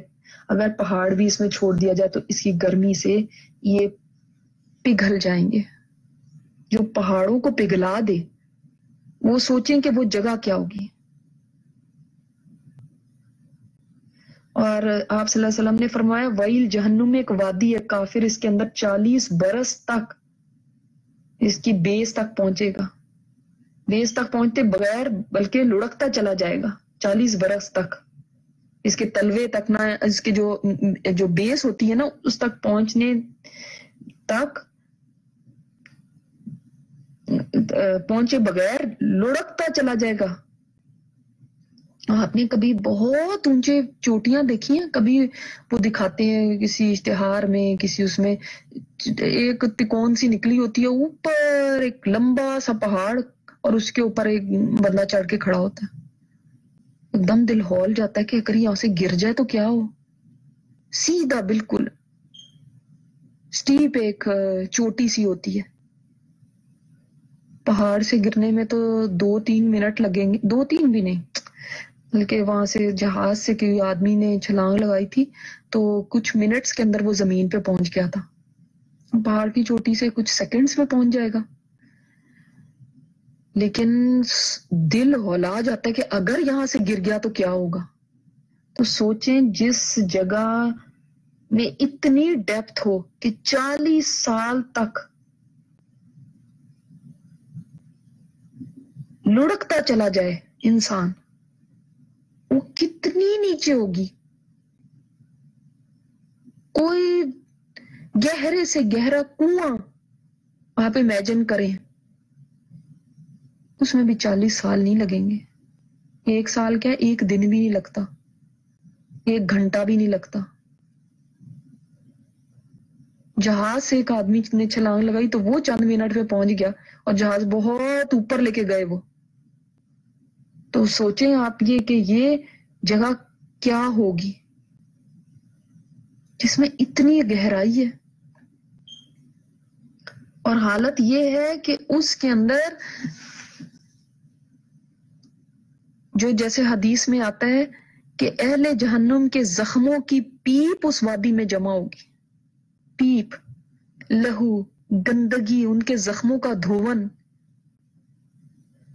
جیسے آپ دیکھیں ہسپتالوں میں پیپ جمع کرنے کے لیے یا لوگوں کا گند جمع کرنے کے لیے جو ان کے زخموں سے نکلتا ہے، خاص بولز ہوتے ہیں یا ٹریز ٹائپ ہوتی ہیں یا کبھی کبھی لوگوں کے ساتھ بیگز لگائے ہوتے ہیں جس کے اندر ان کے وہ سب چیز جمع ہو رہی ہوتی ہے سوچیں یہ جہنم کی وہ جگہ ہے جہاں پہ جہنمیوں کا گند، پیپ، غلازت جمع ہوگی۔ وہ جگہ کیسے ہوگی؟ وہ جگہ سلیکٹ کی گئی ہے مقذبین کے لیے۔ یہ کوئی چھوٹی بات نہیں ہے۔ اور یہاں پہ دیکھیں، کافرین نہیں کہا۔ دل کافرین، یہ نہیں کہا۔ مکذبین۔ یعنی ایسے تمام لوگ مکذب ہیں۔ جو اللہ کے حکموں کو جھٹلاتے ہیں۔ کچھ تو اللہ کو ہی نہیں مانتے نا۔ تو اس کے حکموں کو بھی نہیں مانتے، ظاہر سی بات ہے۔ کچھ اللہ کو مان کے بھی نہیں اس کے حکم مانتے۔ اور اس کو جھٹلاتے ہیں باقاعدہ۔ اعلان کرتے ہیں کہ ہم نہیں مانتے۔ اللہ تعالی کا بھی اعلان ہے ان کے لیے کہ ویل ہے ایسے مکذبین کے لیے۔ اور کتنی یہ سخت سزا ہے۔ سوچیں یہ آیت بار بار اس صورت میں آئی ہے۔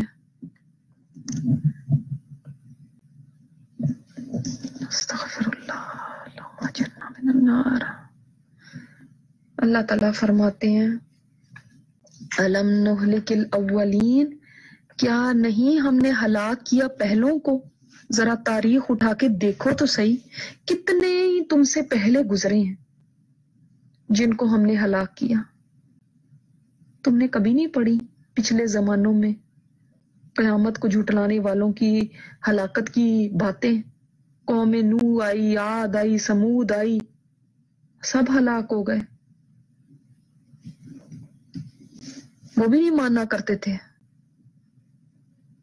ہم سے بہت سے لوگوں نے اسکول، کالج میں ہسٹری کا سبجیکٹ پڑھا ہوا اور کتنی بار ہم نے پڑھ کے یہ سوچا ہو کہ کتنے ہی لوگ ہم سے پہلے آئے، انہوں نے آخرت کو جھٹلایا، حساب کتاب کے یقین کے بغیر زندگی گزاری، پھر ان کے ساتھ کیا انجام ہوا؟ ہم ان کے چھوڑے ہوئے آثار کو دیکھتے ہیں، ان جگہوں کو وزٹ کرتے ہیں جہاں پہ ایسی کچھ تباہی آئی تھی۔ اور پوری کی پوری بستی مٹ گئی۔ سوچتے نہیں ان کی تباہی کیوں آئی؟ ہاں، ہمارے لیے اس میں کیا سبق ہے؟ ثم نتبعهم الآخرین۔ پھر ہم پیچھے لاتے ہیں ان کے بعد والوں کو۔ پہلے بھی لاشوں کے ڈھیر لگے ہوئے ہیں۔ اللہ کے عذاب میں مبتلا ہونے والے بے کفن، بے آسرا کھلے میدانوں میں پڑے رہے۔ ان کو کفن دینے والا بھی کوئی نہیں تھا۔ ان کو قبر تک پہنچانے والا بھی کوئی نہیں تھا۔ قبر بھی نہیں ان کو نصیب ہوئی۔ اور کتنے ان کے بعد ہیں جو انہی کے پیچھے جانے کی تیاری کر رہے ہیں، اسی طرح کے کام کر رہے ہیں۔ تو بعد والوں کو بھی اللہ تعالیٰ نے فرمایا، ہم پیچھے لاتے ہیں ان کے بعد والوں کو یعنی کہ بعد والوں کو بھی ہم ان کے پیچھے چلتا کریں گے۔ کیوں؟ دونوں میں ایک ہی چیز کامن ہے۔ کیا؟ پہلوں نے بھی نہیں مانا تھا، بعد والوں نے بھی نہیں مانا۔ بعد والے بھی نہیں مان رہے۔ وہ بھی قیامت کا انکار کرتے تھے، یہ بھی قیامت کا انکار کرتے ہیں آخرت کا انکار کرتے۔ ہیں اور اس میں مشرقین مکہ کو بھی کہا گیا ہے۔ کیونکہ وہ بھی تھے نا کہ نہیں مان رہے، تو ان کو بھی بتایا گیا کہ جیسے پہلوں کو ہلاک کیا تھا نا، ہم ان کے پیچھے آپ صلی اللہ علیہ وسلم کے جھٹلانے والوں کو بھی لا سکتے ہیں۔ انہوں نے آپ صلی اللہ علیہ وسلم کو نہیں ماننا وہ بھی اسی طرح کے انجام کو پہنچ سکتے ہیں جیسے پچھلے گئے تھے۔ کذالک نفعل بالمجرمین۔ اسی طرح ہم کیا کرتے ہیں مجرموں کے ساتھ۔ جو بھی مجرم ہوگا، چاہے وہ پہلوں میں سے ہو، چاہے بعد میں آنے والوں میں سے ہو، اللہ تعالیٰ کو اس چیز کی پرواہ نہیں کس زمانے میں ہو۔ ٹوینٹی فرسٹ سینچری کا بہت ماڈرن آدمی ہو، یا نو علیہ السلام کا پتھر کے زمانے کا کوئی انسان ہو۔ اگر ایک ہی کام کرو گے تو انجام ایک ہی ہے۔ ہم اپنے آپ کو سمجھتے ہیں کہ ہم آج بہت نئے زمانے کے لوگ ہیں، نئے لوگ ہیں، وہ پرانے لوگ تھے، ان کو تو کوئی سمجھ نہیں تھی۔ آج ہمارے پاس ٹیکنالوجی ہے، ہمارے پاس برینز ہے ایسے لگتا ہے جیسے پرانے لوگوں کے اندر تو کوئی دماغ تھا ہی نہیں۔ ایسے ہی سمجھتے ہیں نا آج کے لوگ اپنے آپ۔ بہت بڑی چیز سمجھتے ہیں کیونکہ ہم نے ترقیاں بہت کر لی ہم نے یہ ایجاد کر لیا، وہ کر لیا۔ لیکن اللہ کے ہاں چاہے وہ اس صدی کا بندہ ہے، چاہے وہ پرانے زمانے کا۔ چاہے وہ غاروں میں رہنے والا ہے اور چاہے وہ اونچی علی شان بلڈنگوں میں رہنے والا ہے۔ اگر وہ مجرم ہے، اگر وہ وہی کام کر رہا ہے جو پچھلوں نے کیا ہے، تو اللہ کی نظر میں دونوں اکول ہے دونوں نے اگر ایک ہی راستہ چوز کیا ہے، تو وہ کسی بھی زمانے میں ہوں، کوئی فرق نہیں پڑتا۔ کیا دیا اس اکیسویں صدی نے ہمیں؟ اس صدی میں آنے کا کیا فائدہ ہوا؟ اگر ہماری سوچ وہی ہو جو قوم لوت کی سوچ تھی، جو قوم شعیب کی سوچ تھی، وہ بھی اپنے پیغمبر کو کہتے تھے کہ کیا ضرورت ہے یہ یہ کیسے ہم کاروبار کریں، اگر ہم ہیرا پیری نہ کریں تو؟ کیسی ہمیں باتیں بتاتے ہو تم؟ یہ اپنے جو پاک دامی کی باتیں نا اپنے پاس رکھو۔ یہ تو بزنس چل ہی نہیں سکتا اس طرح۔ اگر تمہاری سوچ وہی ہے جو ان کی تھی، تم کیا اکیسویں صدی کے اپنے آپ کو روشن خیال اور بہت نیو سینچری کے نیو وہ ذہن والے لوگ سمجھتے ہو۔ آج یہی سمجھتے ہیں نا کہ ہم سیولائزڈ ہیں۔ کیا سیولائزڈ ہو اور تمہاری اور ان کی سوچ میں کوئی بھی فرق نہیں ہے۔ جو بھی مجرم ہوگا، وہ پہلے زمانے کا وہ آج کا ہو، وہ آپ صلی اللہ علیہ وسلم کے وقت میں ہو یا وہ پچیسویں صدی میں آ کے ہو، اگر مجرم ہے اللہ تعالیٰ کے ہاں کسی کے یہ اس لیے کوئی رعایت نہیں ہے کہ وہ بعد میں پیدا ہوا۔ مجرم سب ایک ہی انجام کو پہنچیں گے۔ جنہوں نے انبیاء کی تقزیب کی، جنہوں نے قیامت کے دن کی تقزیب کی، اس کو نہیں ماننا۔ جنہوں نے اللہ تعالیٰ کی بات کو نہیں ماننا۔ اللہ تعالیٰ کی عذابوں کی تقزیب کی، اس کے عذابوں کو نہیں مانا وَيْلُ يَوْمَئِذٍ لِّلْمُكَذِّبِينَ ہلاکت ہے اس دن جھٹلانے والوں کے لیے۔ تو کسی بھی چیز کو جھٹلائے وہ۔ دین کے کسی حصے کو بھی جھٹلاتا ہے۔ جیسے میں نے آپ کو بتایا، چاہے وہ کتاب کو جھٹلا رہا ہے، دین کو جھٹلا رہا ہے، اللہ کی بات کو جھٹلا رہا ہے، اس کے رسول کو، کوئی بھی۔ جس نے جھٹلایا دین کی کسی بھی بات کو، وہ اسی میں ہے کہ اس کا لیے اعلان ہے ویل کا۔ آج کچھ لوگ ہیں جو کہتے ہیں ہم اللہ کو مانتے ہیں، لیکن آپ صلی اللہ علیہ وسلم کی رسالت کو نہیں مانتے۔ جھٹلانے والوں کے لیے ویل ہے بہت سخت فیصلہ۔ ہے اور یہ اللہ کا فیصلہ، اس کے فیصلے بدلا نہیں کرتے۔ علم مہین، کیا نہیں ہم نے پیدا کیا تم کو پانی سے؟ حقیر۔ کیا یہ بہت بڑا واقعہ نہیں ہے کہ عدم سے تمہیں اللہ تعالیٰ نے وجود دیا؟ تم کچھ نہیں تھے۔ تمہیں ایک پہچان دی۔ اور مہین سے مراد کیا ہے؟ حقیر پانی کی بون، وہی منی کا قطرہ، جس کا ذکر سورہ القیامہ میں ہم پڑھ چکے ہیں۔ بار بار قرآن پاک میں آپ نے دیکھا ہے، ہم کتنی دفعہ پڑھ چکے ہیں صورتوں میں، کہ اللہ تعالیٰ انسان کو اس کی اصلیت یاد دلا رہے ہیں۔ کہ تم کیا تھے، کس سے بنے ہو؟ تم اپنے آپ کو دیکھو۔ کہاں تھے؟ کس فارم میں تھے؟ اور اس رب نے کیا بنا ڈالا تمہیں؟ پھر کیسے تم اس ذات کی بات کو نہیں مانتے؟ اس کے آگے کیسے سار اٹھاتے ہو؟ اپنے ہاتھ پہ ذرا تھوک پھینک کے دیکھیں۔ پھر سوچے میں ایسی چیز سے بنی نہیں ہوں۔ ایک دن میں یہ چیز تھی۔ کیا یقین آئے گا آپ کو؟ نہیں آتا نا یقین۔ کیسے ہو سکتا ہے میں ایسی تھی؟ مگر یہی حقیقت ہے۔ اور کوئی تو وہ ذات ہے نا جس نے مجھے اس حقیر چیز سے اٹھا کے یہ وجود دیا۔ ایک شناخت دی، ایک شکل دی، ایک پہچان دی۔ شیشے میں اپنے آپ کو دیکھیں، سوچیں۔ ساتھ دو تھوک پھینکیں اور ساتھ اپنے آپ کو پھر شیشے میں دیکھیں۔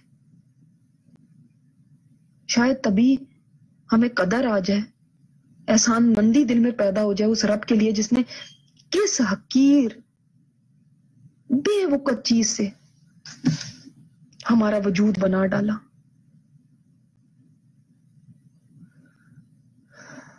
اگر ہم سے پوچھا جاتا ہے نا کبھی کہ آپ پر اللہ تعالیٰ کی کیا نعمتیں ہیں، تو ہم کیا کہتے ہیں؟ بتائیں۔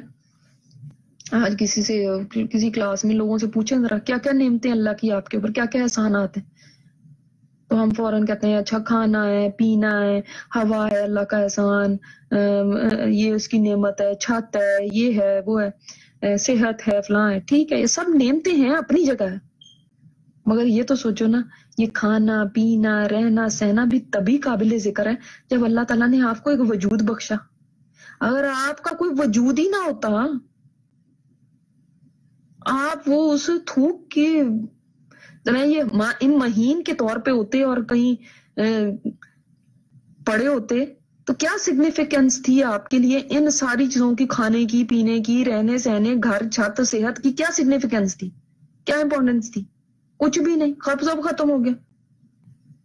مگر ہم سب سے زیادہ اپنی ابتدا کو بھول جاتے ہیں نا، اسی بات کو بھول جاتے ہیں جس کو بار بار قرآن یاد کرواتا ہے۔ کتنی بار قرآن نے یاد کی کرایا ہے کہ کہاں سے پیدا ہوئے؟ کہ اس سے شوگر گزاری نہیں آتی۔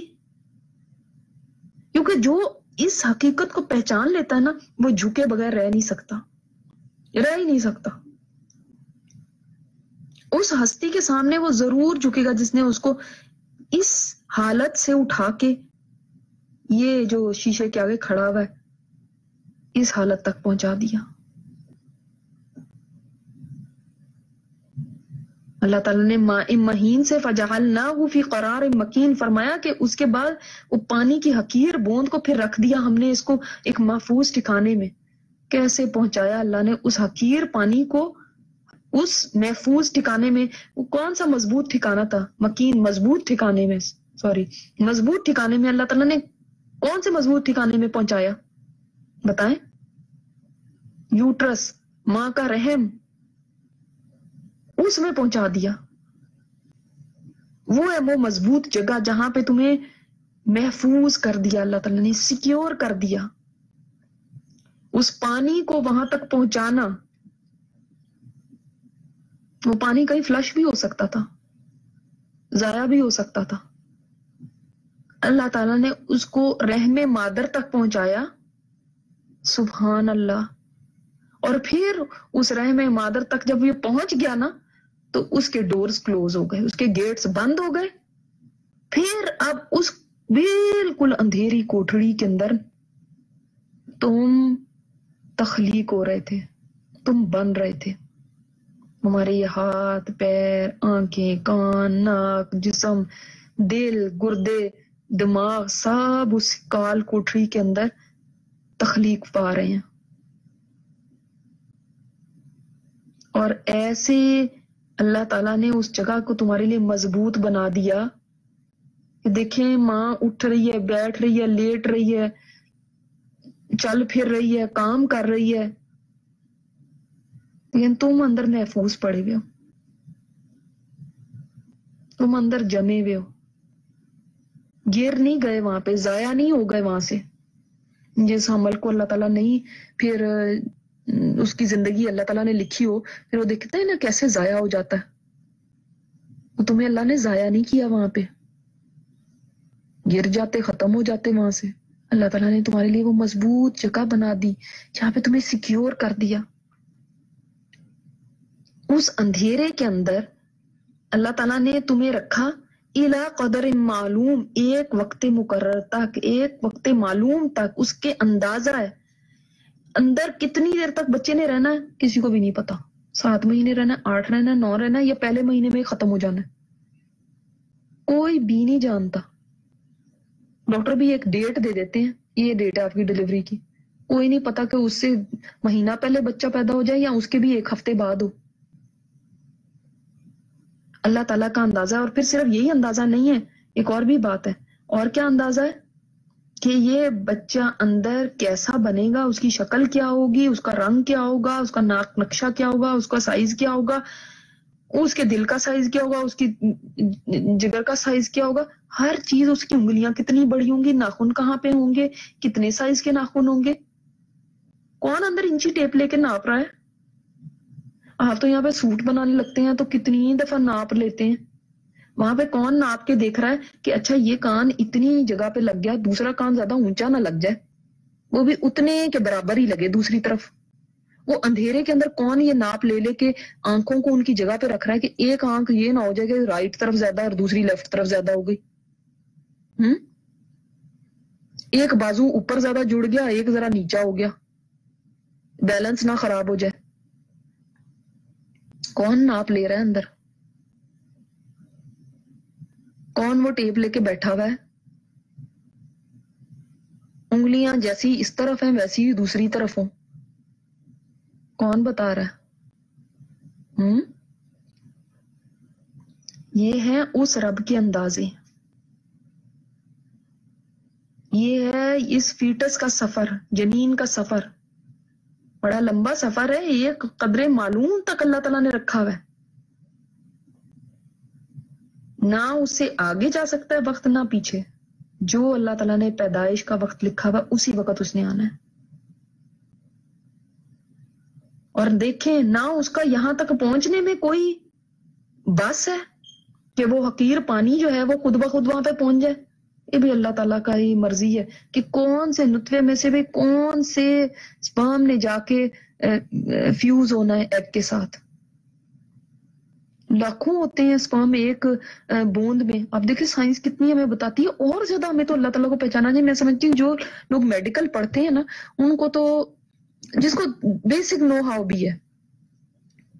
اب ہم نے تو نہیں پڑھا ہوا، لیکن جو بیسک چیزیں بھی پتا ہے اگر سائنس پڑھی بھی آپ نے، اتنا تو اب پتا ہے نا کہ یہ کس طرح سے تخلیق پاتا ہے انسان۔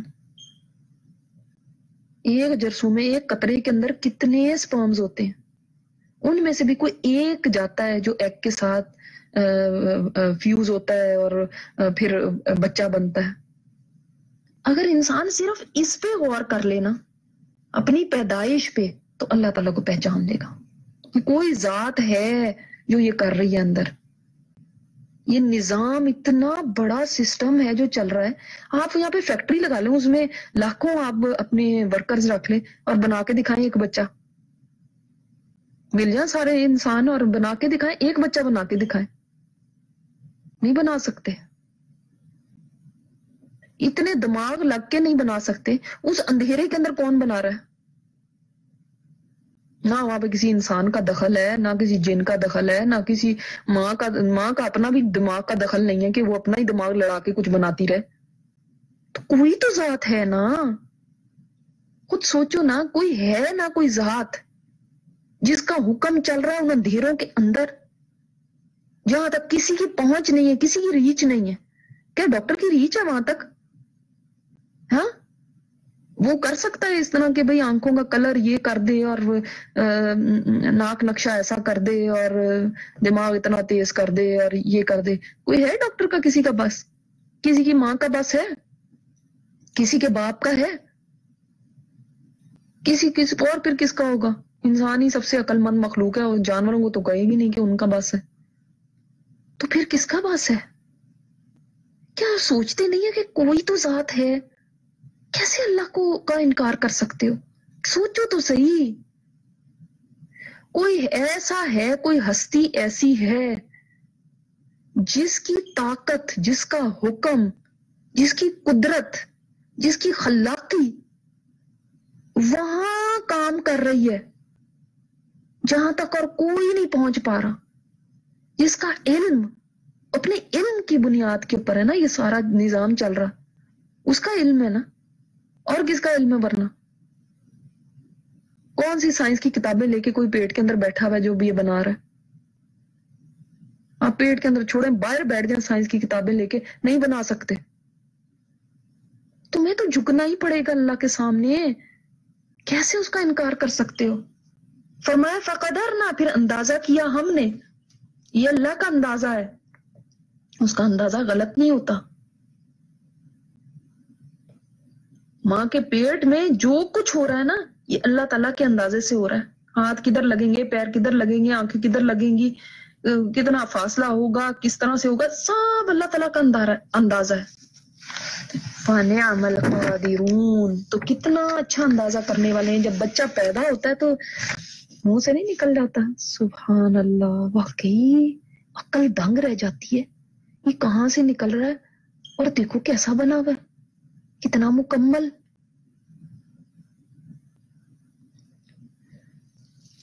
وَيْلٌ کیوں یہ کہا گیا اس کے بعد، اس بات کے بعد کہ تمہیں ایسے پیدا کیا اور یہ کیا؟ اس کے بعد کیوں؟ اسی لیے کہ اس کے بعد بھی نہیں تم سمجھتے۔ دیکھو، اب تو تمہارے پاس جٹلانے کا کوئی جواز ہی نہیں ہے، کوئی وجہ ہی نہیں، کوئی بیس ہی نہیں ہے۔ You have no base it's so obvious ایک چیز ہوتی ہے نا، جیسے سورج کو کوئی دیکھ کے کہے کہ سورج ہے ہی نہیں، روشنی نہیں ہے۔ کیسے؟ تم تم ایک انسان کی تخلیق کے اوپر غور کر لو کہ بچہ کیسے پیدا ہوتا ہے، کیسے بنتا ہے ماں کے پیٹ کے اندر، کیسے یہ سارا نظام چلتا ہے۔ آپ کا نطفہ ماں پہنچتا ہے نطفت نمشا جن پڑھا ہے ابھی آپ نے کیسے مل کے وہ بنتے ہیں تم آدھے اپنے باپ کے اندر ہو اور آدھے اپنی ماں کے اندر ہو اور دونوں سے مل کے تم بنے کس طرح تمہاری خلاقی ہوئی ان اندھیروں کے اندر تین پدوں کے اندر اللہ تعالیٰ نے تمہیں پیدا کیا تو وہاں کا ماسٹر مائنڈ کون ہے وہاں پہ لائٹ کون سی ہے وہاں پہ قدرت کس کی ہے، تم کچھ غور کرو۔ تم اس نتیجے پہ پہنچو گے کہ ایک ذات ضرور ہے جو بہت طاقتور ہے۔ بہت طاقتور ہے۔ اس کی طاقت کا ہم اندازہ ہی نہیں کر سکتے۔ جس کو ہم یہاں پہ دیکھ نہیں سکتے، مگر اس کی طاقت، اس کی قدرت وہاں تک پہنچی ہوئی، وہاں تک چل رہی ہے۔ پھر کس طرح تم جھٹلاؤ گے؟ پھر ایسے جھٹلانے والوں کے لیے جو اتنی آبیس چیز دیکھ کے بھی نہ مانے، ویل ہے پھر ان کے لیے۔ ہلاکت تباہی ہے ان کے لیے۔ پھر اس کے سوا کیا ہو سکتا ہے ان کا؟ جس نے یہ تک دیکھ لیا، جس نے ہواؤں کی گردش دیکھ لی، ہواؤں کا چلنا دیکھ لیا، ان کے جھکڑ چلتے دیکھے، آہستہ چلتی دیکھی، جس نے پچھلی قوموں کا انجام دیکھ لیا، جس نے انسان کی پیدائش کو دیکھ لیا۔ وہ کیسے جھٹلا سکتا ہے اس رب کو اور کیسے جھٹلا سکتا ہے اس کی آیات کو اور کیسے جھٹلا سکتا ہے اس کے وعدوں کو، اس کی قسموں کو کہ وہ اس دن کے اوپر قسم کھا رہا ہے کہ وہ دن آ کے رہے گا۔ کیسے وہ کہہ سکتا کہ میں نہیں مانتا؟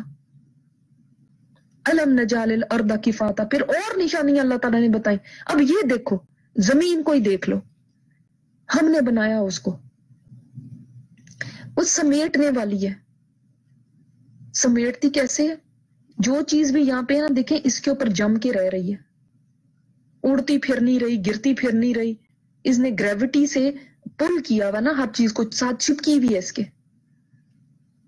زمین میں جو چیز بھی ہے جو انسان چلیں، پہاڑ چلیں، جو بھی چلیں، یہیں پہ ہے نا، یہ جمع کرنے والی، خاص طور پہ انسانوں کے لیے کہا گیا ہم نے اس زمین کو بنایا، سمیٹنے والی۔ تمہیں سمیٹ کے اس نے رکھا ہوا جیسے ماں سمیٹ کے رکھتی ہے۔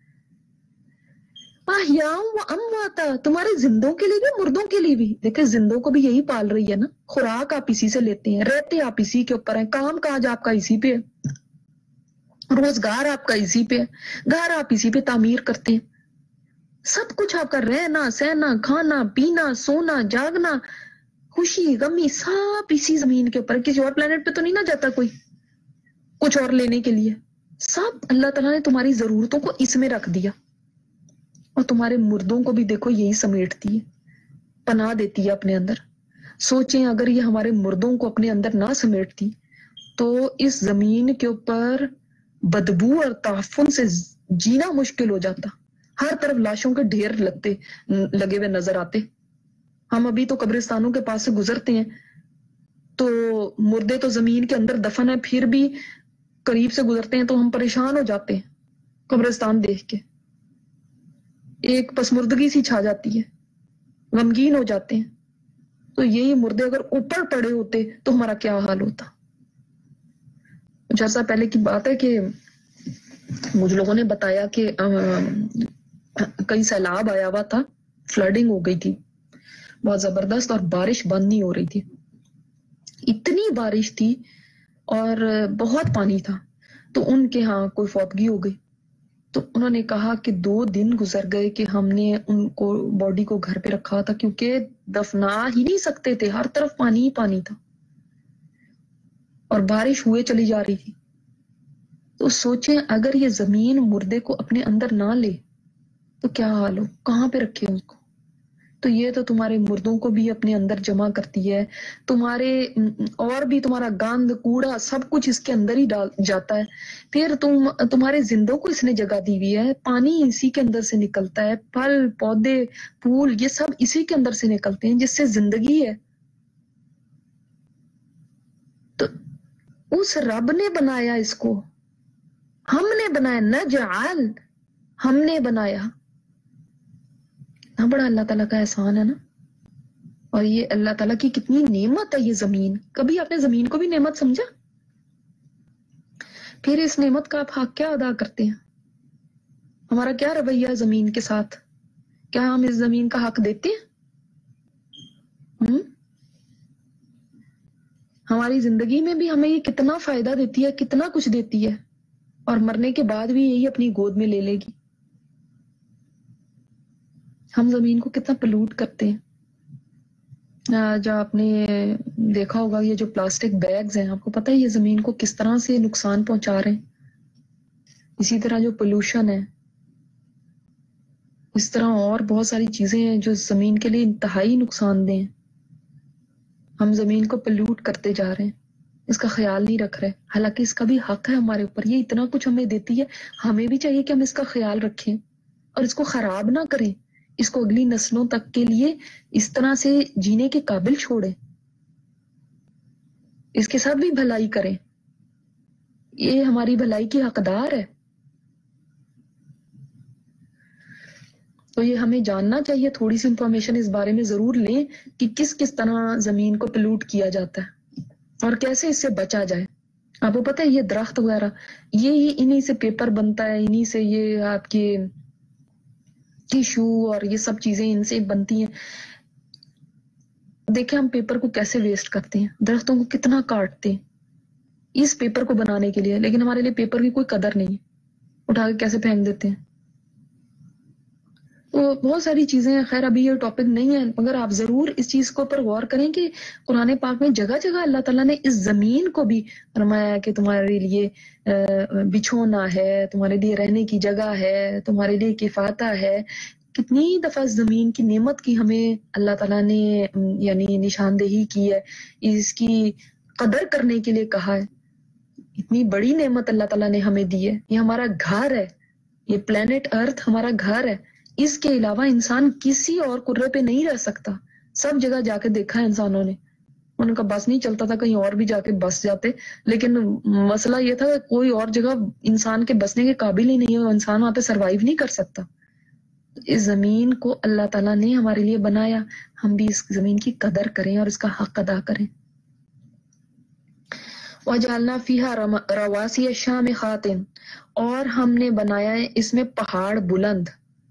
اس کو اللہ تعالیٰ نے اس زمین کو بیلنس کیا پہاڑوں کے ساتھ، اس میں بلند پہاڑ کھڑے کیے میخوں کی طرح گاڑ دیے تاکہ زمین بیلنسڈ رہے۔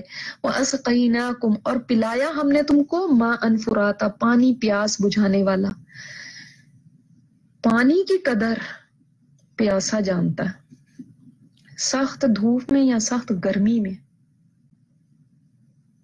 سوچیں کہ پانی کی جو نعمت ہے، وہ کیا نعمت ہے؟ کتنا کچھ اور آپ کو دے دیں، لیکن منہ سے یہ نکلتا ہے پانی۔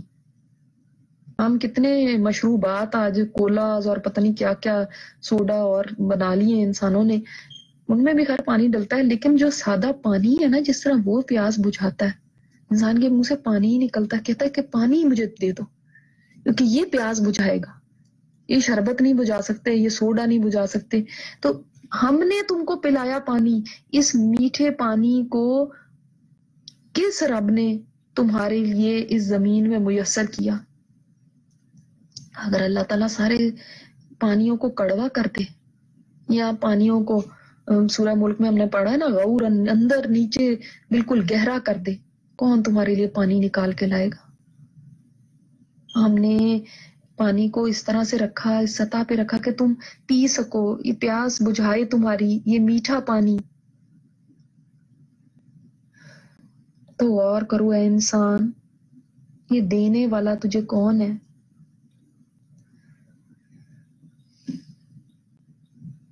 وَإِلُ يَوْمَئِذٍ لِّلْمُكَذِّبِينَ پھر بھی تم اس کو جھٹلاتے ہو۔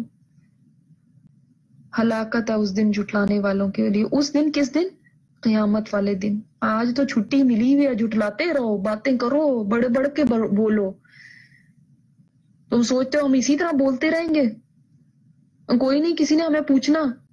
اس، وہ دن آئے گا، اس دن پھر ویل ہوگا ویل وہ وادی ہوگی، تباہی ہوگی، دیکھنا کیسے جو جھٹلاتے ہیں ان کے لیے۔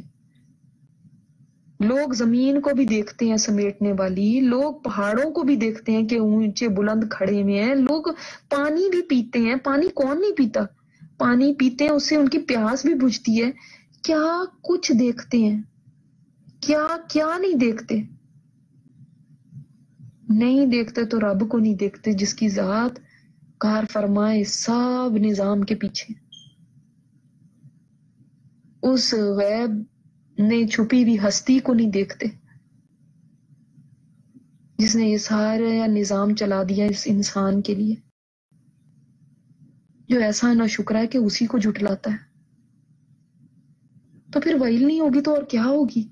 جس کو سمجھا سمجھا کے بھی اور پھر اس کو اثر نہ ہو اور اس کو نعمتیں دیکھ کے بھی سمجھ نہ آئے۔ یہ تذکیر بھی اعلی اللہ۔ یہ اللہ تعالیٰ نے تذکیر کی ہے۔ نصیحت کی ہے، اپنی نشانیوں کے ساتھ، ان نعمتوں کے ساتھ انسان کو اس حوالے سے یاد دہانی کرائی ہے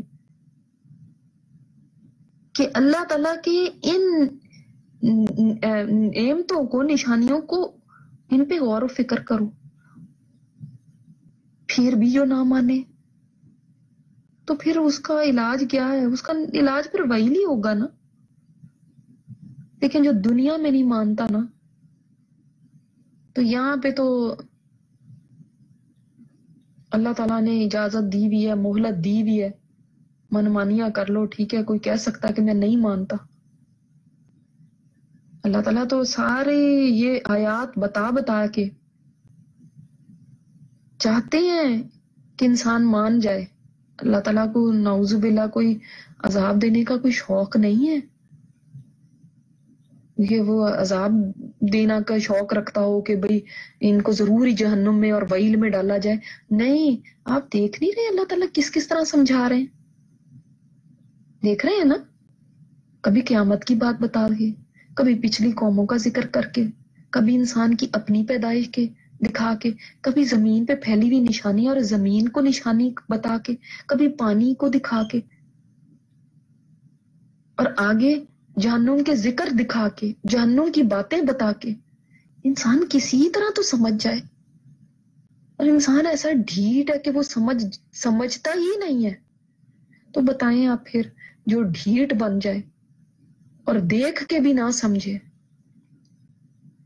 اس کا علاج تو پھر جہنم ہی ہوگی۔ وہاں جا کے سب سمجھ جائیں گے۔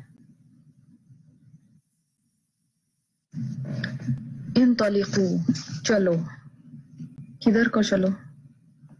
علامہ کون تم بھی تو طرف اس چیز کے جس کو تم جھٹلاتے تھے۔ اللہ تعالیٰ نے جھٹلانے والوں کی پہلے سزا بتا کے کہ ان کی لے۔ اور یہ ساری چیزیں دکھا کے اب ایک دم حشر کے میدان کا منظر دکھا دیا۔ کہ فرشتے جہنمیوں سے کہیں گے، چلو۔ اب اس چیز کی طرف جس کو تم نہیں مانتے تھے نا یعنی قیامت ہے یا کہہ سکتے ہیں جہنم میں تم جھٹلاتے تھے نا اس کو کہ نہیں، ایسے ہی ڈراوے ہیں، یہ تو باتیں ہی ہیں، یہ تو ایسی بنائی گئی ہیں، بس اس طرح ہے کچھ نے دیکھا ہے۔ تو تم دنیا میں ڈرتے نہیں تھے نا؟ یہ کچھ نہیں ہوتا۔ چلو اب۔ ان تلخو چلو طرف۔ الى طرف دل ذی ثلاث شعب، طرف ایک سائے کے جو تین شاخوں والا ہے۔ یہ تین شاخوں والا کا کیا مراد ہے؟ یعنی ایک تو یہ بھی کہا جاتا ہے کہ ہو سکتا ہے میدان حشر میں جو سخت گرمی اور دھوپ ہوگی،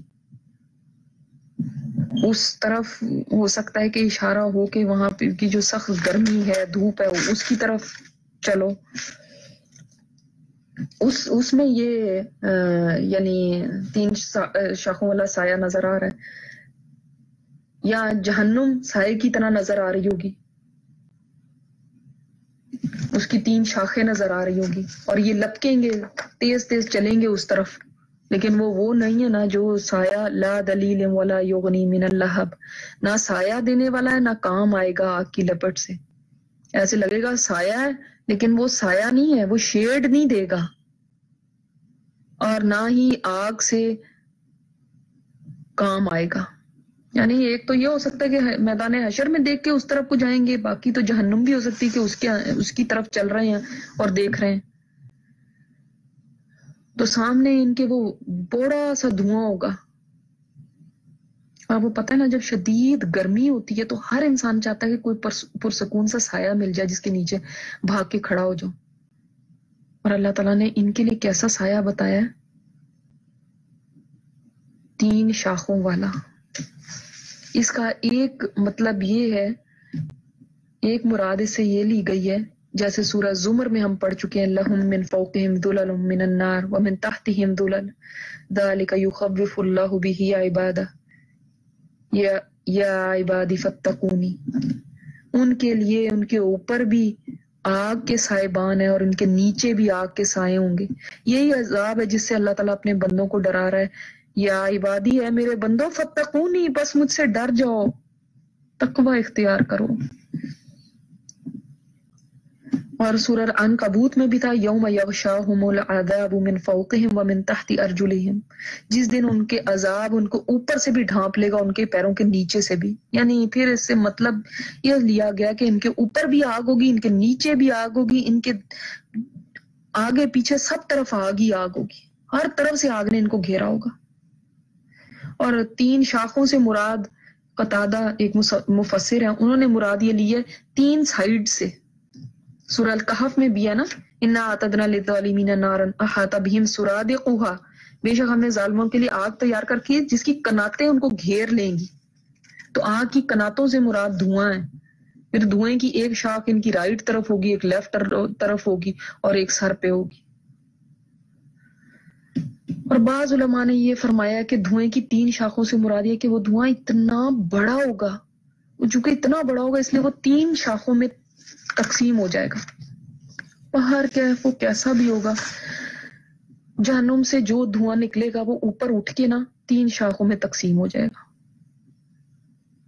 اور کوئی بھی چیز سایہ تب دیتی ہے جب وہ اس کی شاخیں ملی بھی ہوتی ہیں۔ دیکھا نا، درختوں کی بھی جب برانچز ساتھ ملی ہوتی ہیں تو سایہ ہوتا ہے نا۔ تو اس کی تو تین شاخیں ہو گئی۔ اور ویسے بھی یہ نہ بھی ہو تو یہ سایہ کیسا ہے کہ جب دوزخ سے گرمی اٹھے گی تو گرمی کی حدت سے، اس کی وجہ سے جو ویپرز ہوں گے، بخارات ہوں گے، جہنم سے جو اٹھیں گے، وہ جہنمیوں پر اس طرح سے سایہ کریں گے یعنی ایسا دھواں سا بنیں گے۔ لیکن وہ دھواں، دھوئیں کا سایہ کوئی نہیں ہوگا، اس کا شیڈ کوئی نہیں ہوگا اور نہ ہی وہ آگ سے کوئی کام آئے گا۔ ایسا نہیں ہے کہ جسے جا کے آگ سے بچنے کے لیے یا سورج اتنا قریب ہے تو اس سے بچنے کے لیے سائے میں جا کے کھڑے ہو جائیں تھوڑی دیر کے لیے سکون لے لیں ایسا نہیں ہوگا۔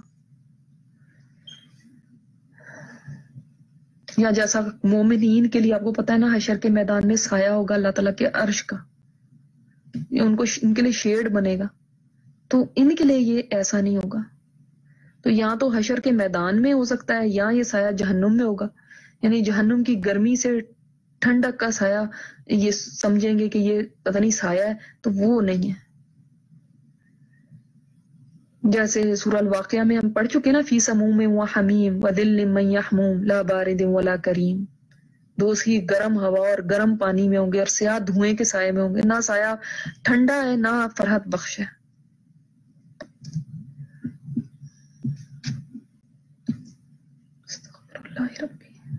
اور وہ کیسا ہوگا؟ وہ کیسی جگہ ہوگی؟ ان نہا ترمی بشرر کھل قصر، کہ بے شک وہ پھینکے گی چنگاریاں محلوں کے برابر، محلوں جیسی، جیسے یہ سمجھ لیں ہیوج بلڈنگز پیلسز ہوتے ہیں نا، محل بڑے بڑے ہوتے ہیں، اونچے اونچے، ان کے برج ہوتے ہیں. تو ان کی چنگاری اچھا ویسے آپ آگ جلائیں تو آگ کے مقابلے میں چنگاری کتنی بڑی ہوتی ہے؟ بڑی سے بڑی بھی آگ آگ دیکھ لینا جو ہم جلاتے ہیں۔ تو چھوٹی سی چنگاری ہوتی ہے کتنی بڑی کتنی ہو جائے گی بڑی چنگاری۔ ہاتھ کے برابر تو نہیں نہ ہوتی۔ چھوٹی سی ہوتی ہے، ایک انچ کی ہو جائے گی۔ آپ بڑی آگ بھی جلا لیں۔ تو آپ اندازہ کیجیے کہ جس کی چنگاری اتنی بڑی ہے جتنا محل ہے۔ سبحان اللہ، وہ آگ کتنی بڑی ہوگی۔ وہ آگ کتنی بڑی ہوگی۔ اور یہ چنگاریاں اڑ اڑ کے دوزخیوں پہ گریں گی۔ اور جس انسان کے اوپر بلندی سے محل کے برابر کوئی چیز آ کے گرے، اس کا حال کیا ہوگا؟ اور وہ بھی آگ۔ تو دوزخیوں کے اوپر جب اتنے بڑے انگارے گریں گے، تو ان کا حشر کیا نکل جائے گا؟ استغفر اللہ ربی استغفر اللہ ربی اللہم آجرنا من النار اللہم آجرنا من النار اللہم آجرنا من النار. اللہ رحم فرما اللہ ہم پر رحم فرما. کأنہو جمالت صفر. گویا کہ وہ اونٹ ہیں زرد رنگ کے۔ اور چنگاریوں کو اللہ تعالیٰ نے تشبیح اونٹوں سے بھی دی ہے۔ جیسے اونٹ ہوتے نا اونٹ جب چلتے ہیں قطار میں، تو کیسے چلتے ہیں؟ کبھی دیکھا ہے اپنے اونٹوں کو چلتے بھی ہچکولے کھا رہے ہوتے نا، اوپر نیچے اوپر نیچے ہو رہے ہوتے ہیں، ان کی کوہان ہوتی ہے، پھر وہ اوپر نیچے ایسے چل رہے ہوتے ہیں۔ تو جہنم سے جو چنگاریاں اچھل اچھل کے نیچے جا رہی ہوں گی، وہ ایسے لگیں گی جیسے زرد رنگ کے اونٹوں کی قطار لگی ہوئی ہے۔ یعنی یہ نہیں ہے کہ کوئی ایک چنگاری اٹھی، پھر کچھ دیر کے بعد دوسری اٹھی، جیسے ہماری آگ جلاتے ہیں ہم تو ہوتی مسلسل جیسے ایک اونٹوں کی قطار میں ایک کے پیچھے ایک ایک کے پیچھے اتنی بڑی بڑی ہوں گی جیسے اونٹ ہے۔ اور یہ بھی کہا جاتا ہے کہ وہ جو چنگاری اٹھیں گی، اوپر کو جائیں گی، تو اوپر اڑنے کے بعد ان کی ان کی، ان کا سائز ایسے ہوگا جیسے ایک بڑا محل ہے۔ اور پھر وہ پارٹس میں، چھوٹے ٹکڑوں میں یعنی تقسیم ہو جائیں گے اور وہ ٹکڑے زرد اونٹوں کے برابر ہوں گے۔ اب ایک انسان کھڑا ہو تو اونٹ ہی کتنا بڑا ہے، وہ جو اتنی بڑی چنگاری اس کے اوپر آگے گرے گی۔ انسان کا سائز دیکھیں اور پیلس کا سائز دیکھیں، ایک محل کا سائز دیکھیں۔ ایک محل اوپر گر جائے تو کیا حال ہو؟ اور آگ اتنی بڑی گرے تو؟ اور اونٹ کتنا بڑا ہوتا ہے؟ اور بعض نے کہا ہے کہ سفر کا ترجمہ سیاہ کا کیا ہے کہ سیاہی مائل جو زردی ہوتی ہے نا، بالکل کالی ہو جائے۔ وہ زرد اونٹ کی جو زردی سیاہی مائل ہو، اس کو وہ کہتے ہیں کہ وہ ہے سفر۔ یہ بھی کہا گیا ہے، کیونکہ جو جہنم کی آگ ہے اللہ ربی، اللہ تعالیٰ ہمیں معاف فرما دے جو جہنم کی آگ ہے، وہ ریڈ کلر کی نہیں ہے۔ اس کا رنگ ایسا ہے کہ وہ بالکل اس میں روشنی نہیں ہے۔ بالکل وہ سیاہ کالی ہے، کیونکہ ہزار سال تک جہنم جلائی گئی۔ تو وہ پہلے ریڈ ہوگی تو جیسے حدیث میں آتا ہے کہ ہزار سال تک، ہزار برس تک دو سو کی آگ بڑھ گئی تو یہاں تک کہ وہ بالکل سرخ ہو گئی۔ پھر ہزار برس تک بھڑکائی گئی، یہاں تک وہ سیاہ ہو گئی۔ اب وہ سیاہ تاریخ ہے۔ بالکل جیٹ بلیک۔ اس میں کوئی روشنی نہیں ہے۔ اس کہا گیا کہ اس کی ایسے ہوں گی۔ اور سیاہی تو اور زیادہ انصر زدہ کرتی ہے۔ اور یہ بھی کہا جاتا ہے کہ جو یہ جو ہے نا سایہ ذل کا لفظ آیا تو یہ بھی کہا جاتا ہے کہ خود جہنم کی آگ ہی ہے، کیونکہ آگ اتنی سیاہ اتنی ڈارک ہے کہ اس کی ڈارکنیس کی وجہ سے اس کو ذل کہا گیا کیونکہ سائے میں ہوتی ہے نا تھوڑی سی شیڈ، کالا ہوتا ہے نا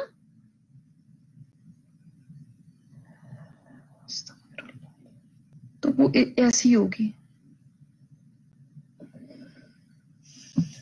تو یہ نہ سمجھو کہ وہ عرش کے سائے کی طرح یا جیسے جنتیوں کو سایہ مل رہا ہوگا، اس کی طرح کوئی آرام دے ہو، وہ تو نہ نہ ان شولوں کو دور کرے گی، جہنم کے شولوں سے بچائے گی اور نہ ہی کوئی سایہ دے گی۔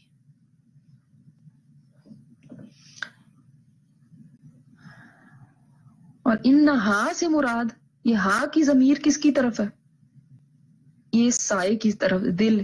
یہ ذل جو ہے نا، یہ یہ یہ پھینکی یعنی یہ یہ جہنم کی آگ مراد ہے۔ کیونکہ وہ سایہ وہ ہے ہی جہنم کی آگ۔ وہ ڈارک نیکس کی وجہ سے اس کو سایہ سمجھ رہے ہیں، حالانکہ وہ سایہ نہیں ہے، وہ آگ ہے۔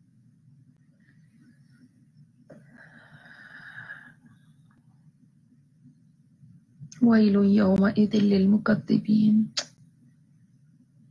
ویل ہے پھر ایسے مکذبین کے لیے ان کے لیے تو ظاہر سی بات ہے کہ پھر جو اس آگ کی باتیں سن کے، اس کو پڑھ کے، اس کو جان کے وہ پھر بھی نہ مانے اپنے بچنے کے لیے انتظام نہ کریں جٹلاتے ہی جائیں کہ ہم نے نہیں ماننا، ان کے لیے پھر وہی لیا حدیث میں یہ بھی آیا ہے کہ جہنم کے آگ کی جو چنگاریاں ہیں نا شرار شرارہ جو کہتے ہیں اردو میں، چنگاریاں تار کول کی طرح، ہم نے تارکول دیکھا ہے کبھی بچتے ہوئے؟ یہ سڑکیں بنتی ہیں نا اس سے۔ تارکول کی طرح سیاہ ہوں گی۔ اونٹ کے رنگ کی سیاہی زردی مائل ہوتی ہے، اس لیے عرب اونٹ کے رنگ کو بھی سفر کہتے ہیں۔ تو اس طرح سے اس لیے سفر کہا گیا۔ ورنہ وہ ایسی کالی سیاہ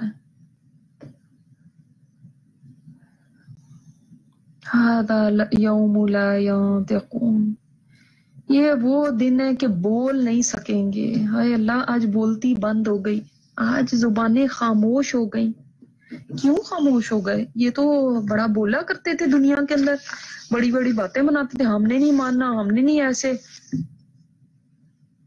ہم نے اس کو صحیح سمجھتے آج کیوں نہیں بول رہے آپ دیکھتے ہیں دنیا میں کسی کے اوپر کبھی دیکھا ہے اچانک کوئی صدمہ، کوئی ایک دم بہت سخت تکلیف، کوئی ایسا حادثہ ہو جائے تو وہ ان لوگوں کو سکتا ہو جاتا ہے۔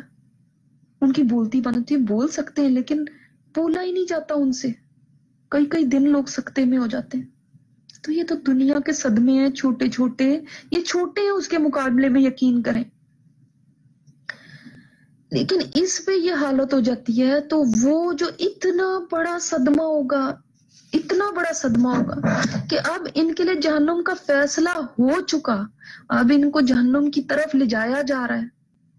اتنا شدید ان کو صدمہ ہوگا۔ کیونکہ دیکھیں، کوئی پرسانے حال نہیں، کوئی بچانے والا نہیں، ہر طرف مایوسی۔ اس رب کو ناراض کر لیا جس کے ہاتھ میں سب کچھ ہے۔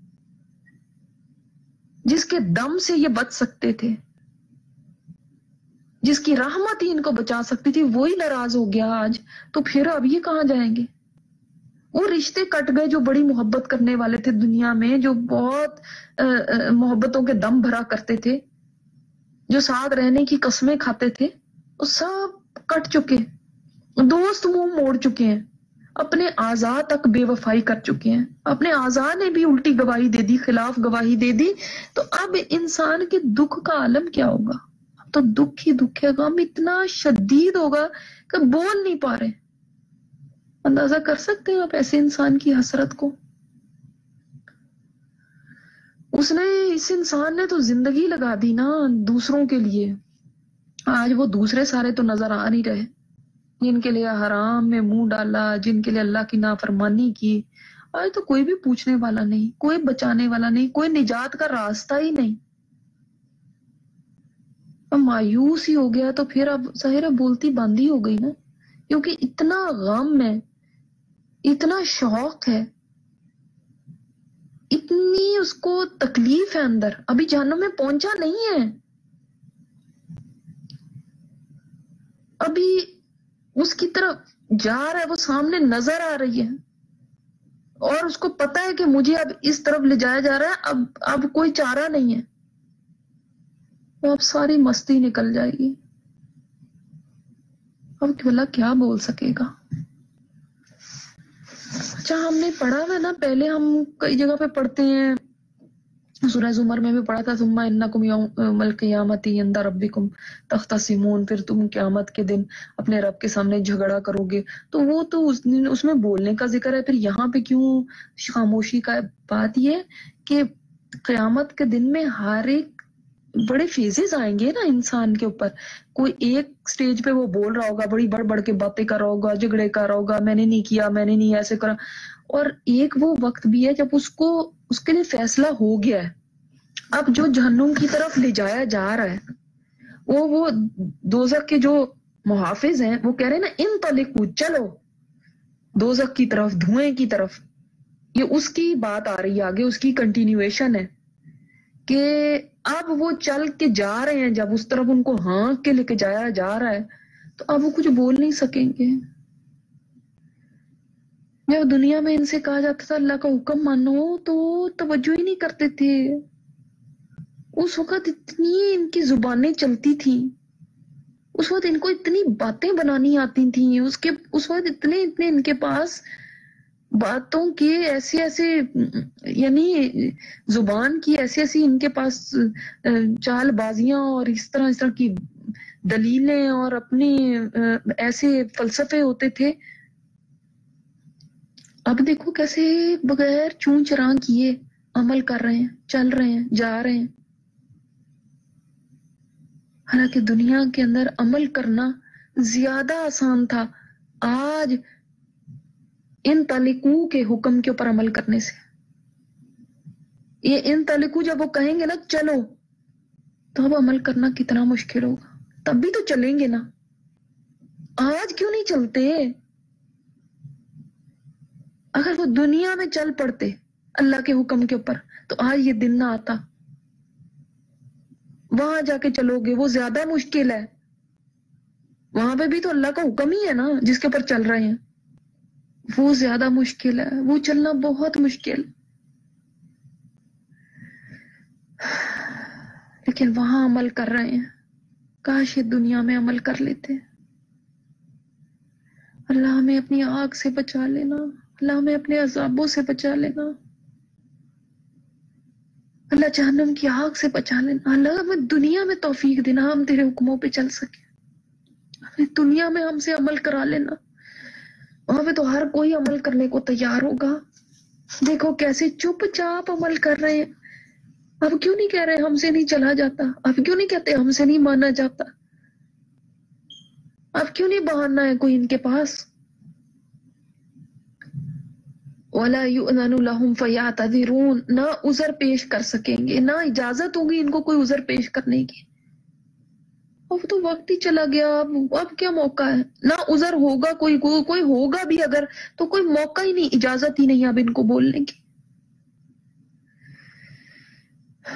آج دیکھو، لوگوں کو بلایا جاتا ہے، قرآن کی طرف تو کتنے سارے عذر ہوتے ہیں۔ یعنی روزمرہ کے ڈیلی لائف کے عام زندگی کے روٹین کاموں کو بھی ہم عذر بنا لیتے ہیں کہ ہمارے گھر کے کام اتنے ہیں۔ گھر کے کام تو زندگی کا حصہ ہیں۔ بچوں کے کام ہیں۔ بچے تو زندگی کا حصہ ہیں۔ ان کو بھی عذر بنا لیتے ہیں۔ کتنی لمبی بہانوں کی لسٹ ہمارے پاس تیار رہتی ہے۔ اور یہی سوچتے ہیں شاید کہ اللہ تعالیٰ کو بھی یہ لسٹ دے کے ہم پار ہو جائیں گے۔ نہیں، ولا یوزن لهم فیعتذرون اجازت ہی نہیں ملے گی۔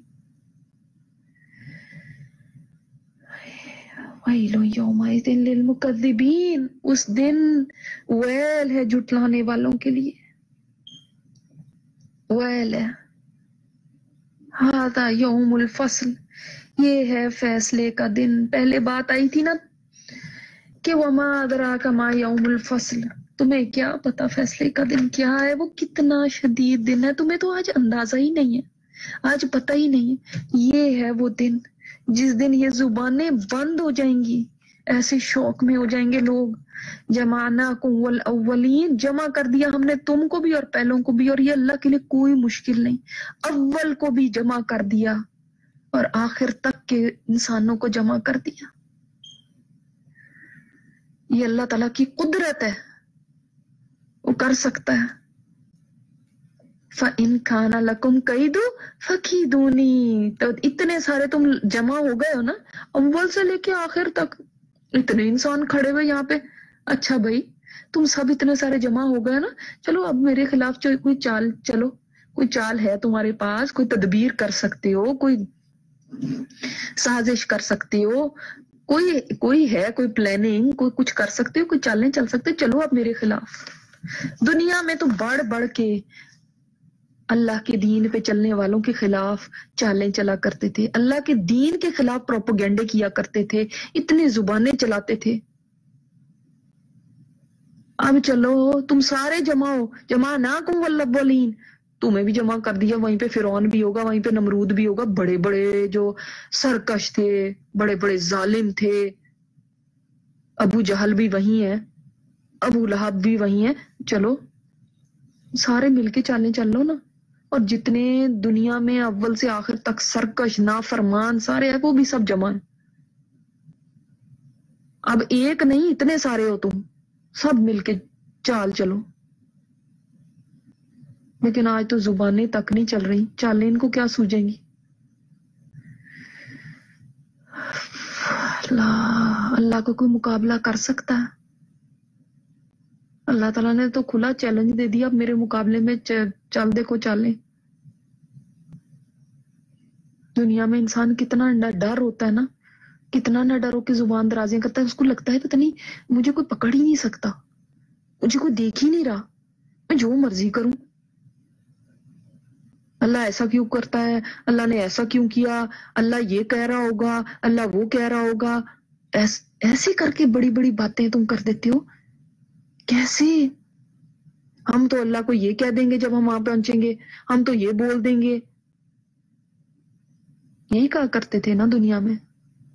پلانز بناتے تھے، مکاریاں کرتے تھے۔ کہاں گئی وہ ساری آج کوئی تدبیر کام نہیں آ رہی۔ کتنا لمبا دن ہے وہ اور کتنا شدید پریشر ہے۔ ہم چھوٹی چھوٹی کبھی جاب کے اس میں ٹینشنز لے لیتے ہیں۔ کبھی ہم اپنے گھر کے حالات کے اوپر ٹینشنز لیتے ہیں، کبھی بچوں کے اوپر پریشان ہوتے ہیں۔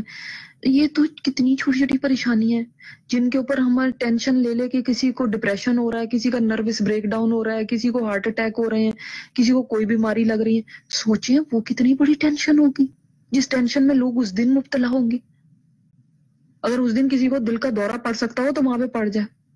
اگر کسی کے آساب پھٹ سکتے ہو تو اس دن پھٹ جائے اگر نروس بریک ڈاؤن ہو سکتا ہو تو اس دن ہو جائے۔ لیکن اللہ تعالیٰ بھی وہ قوت دیں گے کہ انسان برداشت کرے اور کھڑا رہے۔ مرے گا نہیں نا، ورنہ بے ہوشی ہو جائے صدمے سے۔ صدموں میں لوگ بے ہوش ہو جاتے ہیں نا غش کھا کے گر جاتے ہیں۔ نہیں، کوئی بھی نہیں گرے گا۔ کھڑے رہنا پڑے گا۔ اور وہ اور بھی تکلیف ہے۔ کوئی بے ہوش ہو جائے، کسی کے آساب جواب دے جائیں۔ ہارٹ اٹیک ہو جائے تو چلو، ایسی اسٹیٹ میں چلا گیا، اس کو پتہ ہی نہیں اب کہ کیا ہو رہا ہے۔ لیکن یہ اس کو تو سہنا ہے، کھڑے ہونا ہے۔ آج کوئی تدبیر نہیں ہے، کوئی چھٹکارا نہیں ہے۔ اللہ اللہ تعالیٰ نے انسان کو اس میدان حشر میں لا کے کھڑا کر دیا۔ اور فرمایا، چلو چالیں اب، کر لو جو کر سکتے ہو۔ آزما لو جو ہر بار آزما سکتے ہو۔ دنیا میں بڑی بڑکے مارتے تھے نا تم۔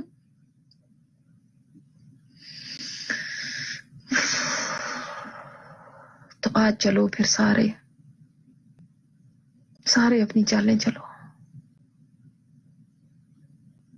وہی لو یوم دل کیا اب بھی یقین نہیں آ رہا کہ وہ دن ضرور آئے گا۔ کیا اب بھی نہیں یقین آتا۔ کہ اللہ تعالیٰ ہر قدرت کا مالک ہے، ہر چیز کرنے پر قادر ہے۔ ابھی بھی نہیں یقین رکھتے اس کے احکامات پہ اور اس کی پاور کو اب تک نہیں سمجھے تم۔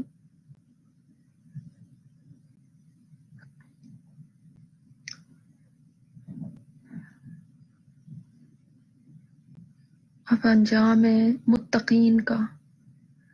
وہ جو دنیا میں اللہ سے ڈر ڈر کے زندگی گزارتے رہے۔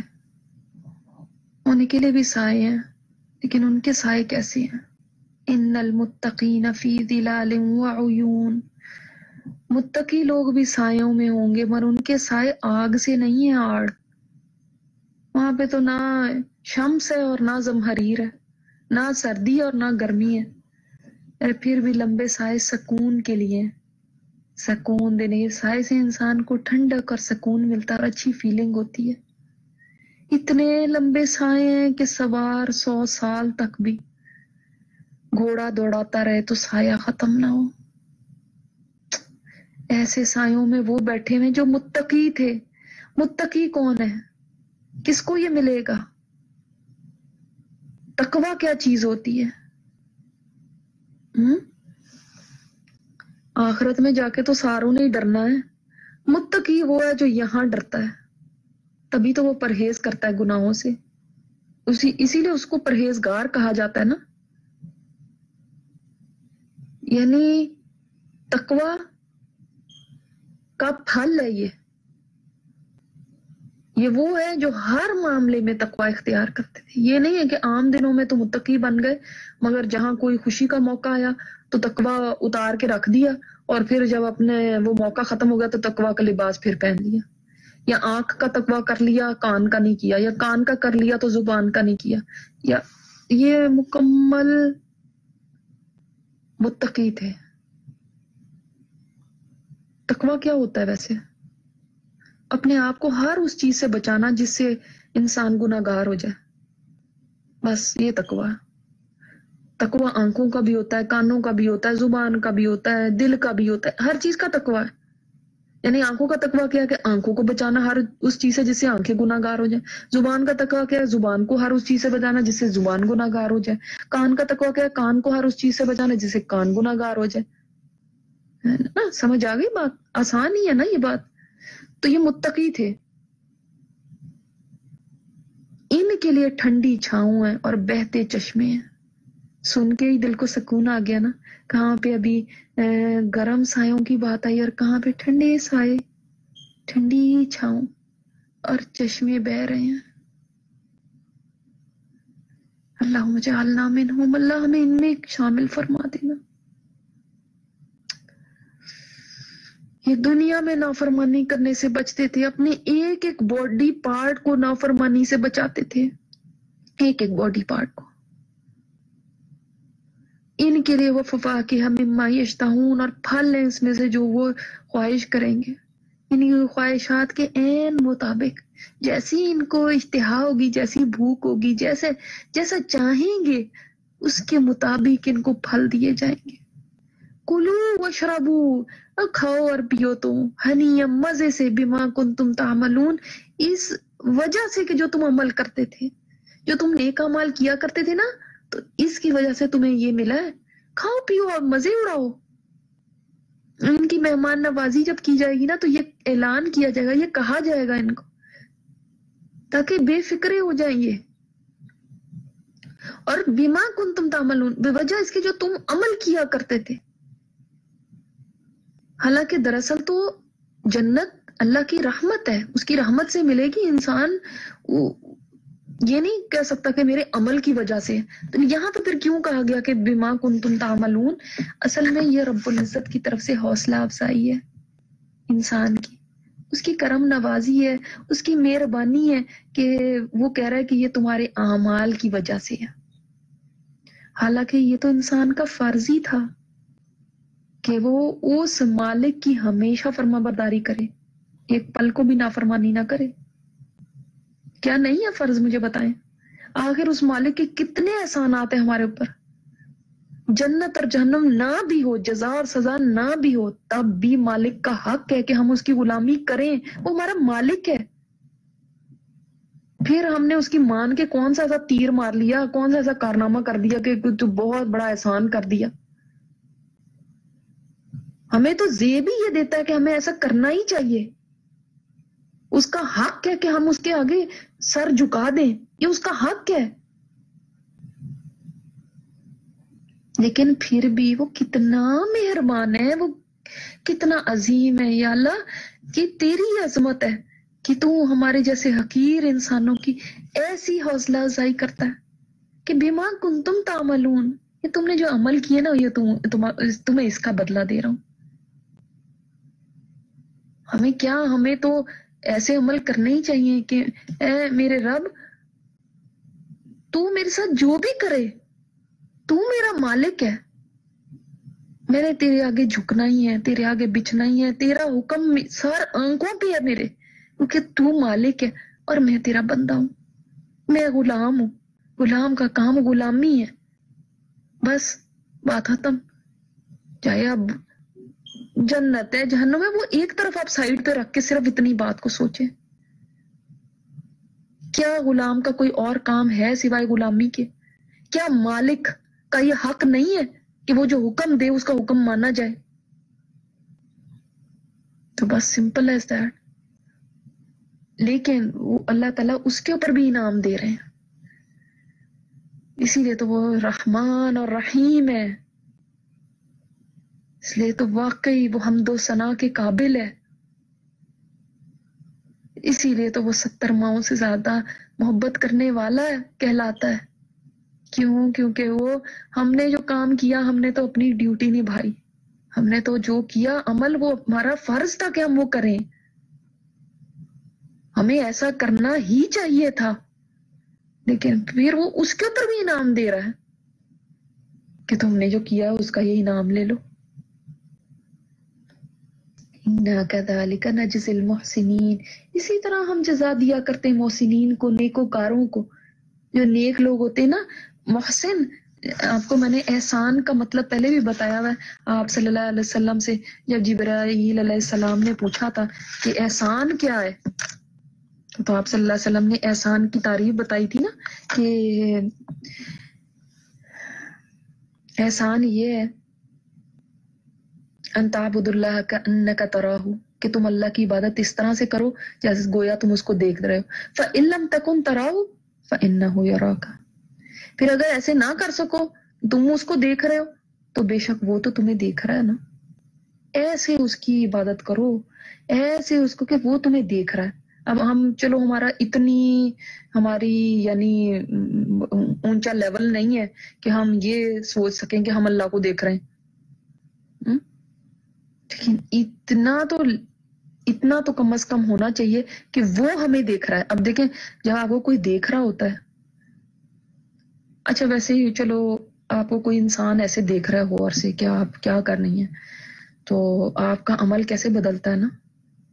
آپ کی جو آپ کہتے ہیں، ہائی، وہ دیکھ رہی ہے۔ تو ٹیچر ہے یا کوئی آپ کی افسر ہے یا کوئی بھی باس ہے کسی کا تو آپ بتائیں کہ وہ اس امپلائی کی کارکردگی میں کتنا فرق آ جاتا ہے؟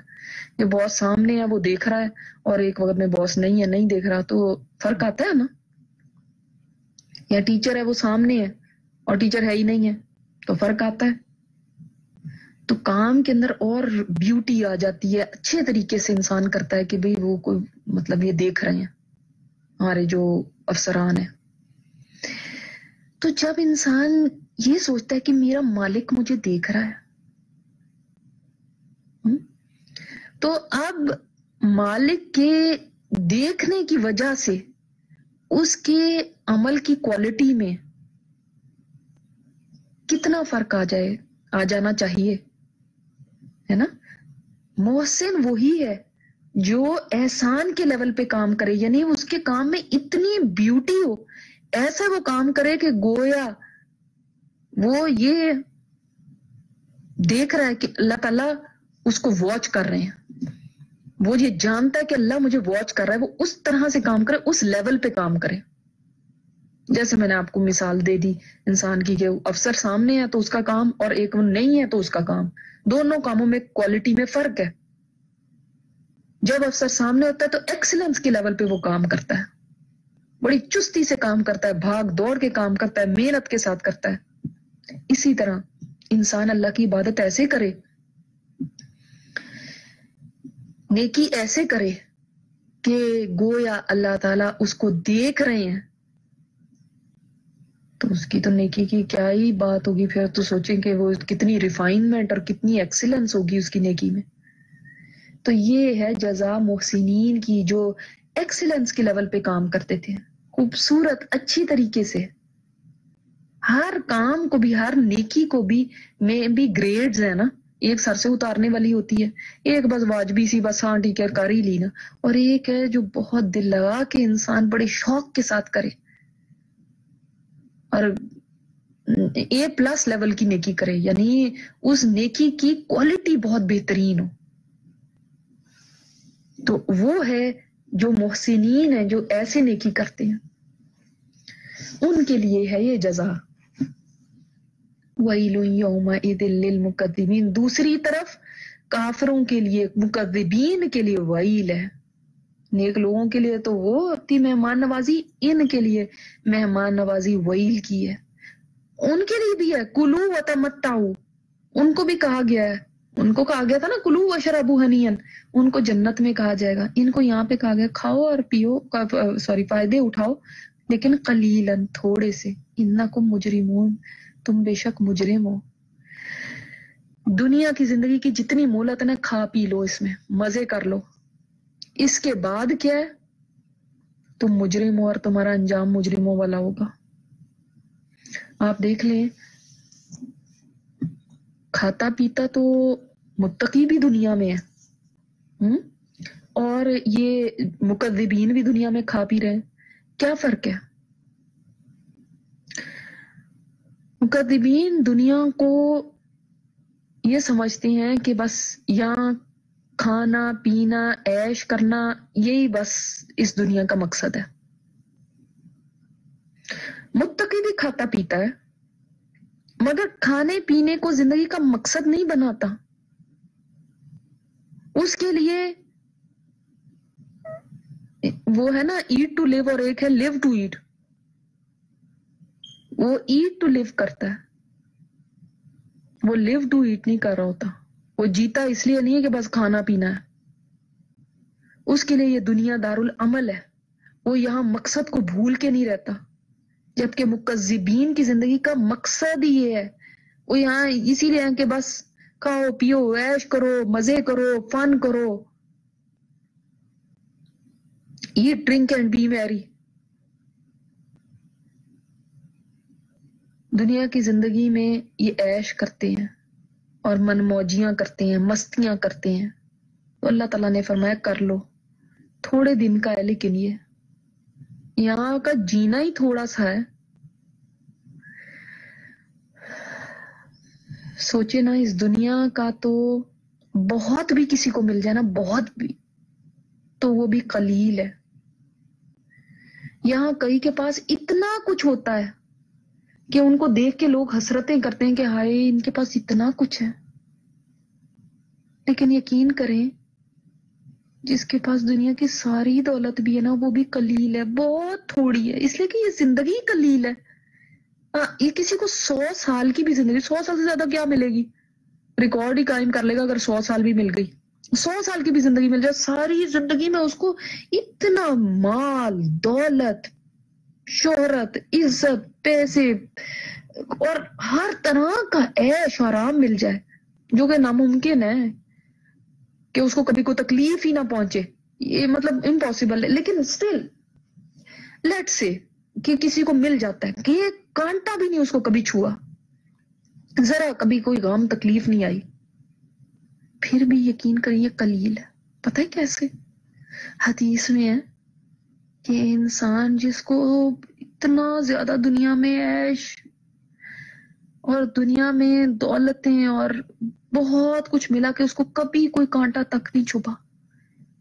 اتنا وہ دنیا کے اندر خوشحال رہا۔ اس کو جب جہنم کا ایک چکر ہی لگایا جائے گا نا اور اس کو بلایا جائے گا، کیا حال ہے تمہارا؟ تو وہ کہے گا، یا اللہ میں نے کبھی کوئی خوشی دیکھی ہی نہیں۔ کبھی کوئی آرام میں نے دیکھا ہی نہیں۔ اتنا کلیل ہے یہ دنیا کا ایش اور آرام۔ اور جس نے دنیا کے اندر غام دیکھے ہوں گے نا، تو یہاں کے غام بھی کلیل ہے یہ اچھی بات ہے۔ جو لوگ یہاں پہ پریشان ہیں، کسی وجہ سے تکلیف میں ہیں، لیکن اللہ کی فرما برداری میں ہے نا، وہ خوش ہو جائیں کیونکہ یہاں کے غم بھی قلیل ہے تو اس نے ساری زندگی جو غموں میں رہا کئی لوگ کہتے ہیں کہ اس فلانے کے پورے اتنے غم ٹوٹے، اس نے کبھی کوئی خوشی دیکھی ہی نہیں ہے۔ ایسے لوگ کہتے ہیں کئیوں کے بارے میں۔ تو کوئی ایسا بھی انسان اگر آپ کی نظر میں ہے جس کے اوپر اتنے غموں کے پہاڑ ٹوٹے ہوں کہ اس نے کبھی بھی نہیں کوئی خوشی دیکھی۔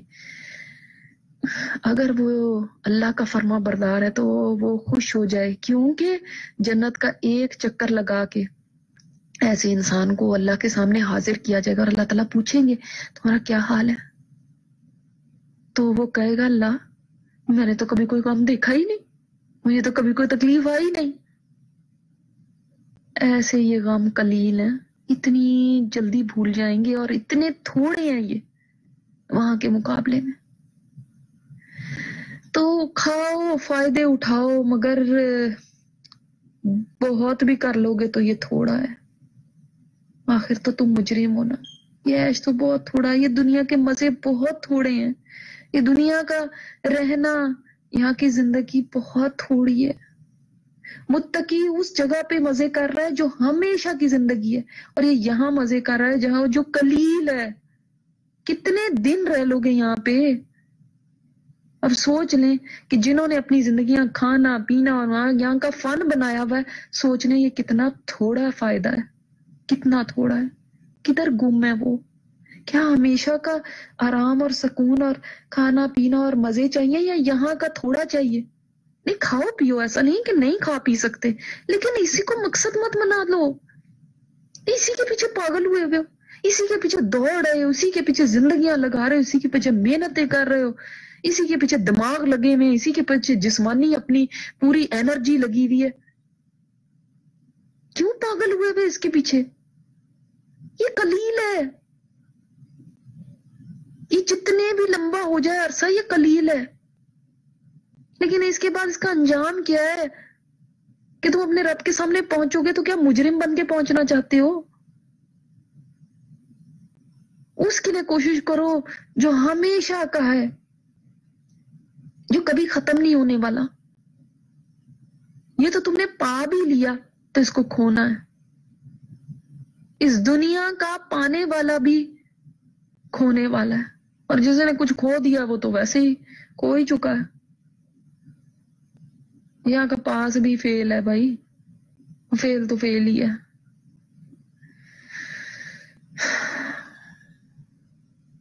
کیوں نہ آپ صلی اللہ علیہ وسلم کو اس صورت نے بوڑھا کر دیا ہوگا؟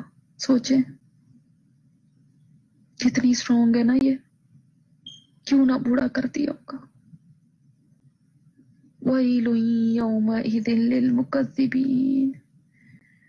یہ تباہی ایسے ہی نہیں ہے، یہ وہیل ایسے ہی نہیں ہے۔ اللہ ظلم نہیں کرتا اپنے بندوں پر۔ اس وجہ سے ہے کہ تم نے دنیا کا مقصد ہی بنا لیا تھا۔ کھانا، پینا، وہیں کا عیش اور آخرت کو بھول گئے تھے۔ تو وہی اتنا کھو گئے تھے۔ اتنا کھو گئے۔ تھے اور واقعی آپ دیکھیں، جو یہاں پہ اپنا مقصد حیات یہی بنا لیتے نا کہ بس یہاں پہ فائدہ اٹھاؤ، یہاں پہ مزے کر لو، اٹھو، بس اسی کے اندر کھو جاؤ۔ صبح کو بھی سارا دن اسی کے پیچھے بھاگو، رات بھی ان کی اسی کے لیے گزر رہی ہے۔ رات کو سوئے تو اس لیے سوئے کہ صبح پھر تازہ دم ہو کے اسی کے پیچھے بھاگے۔ کیا ملے گا ان کو اینڈ میں جا کے؟ تو اگر اب بھی نہیں مانتے تو تباہی ہے۔ تباہی۔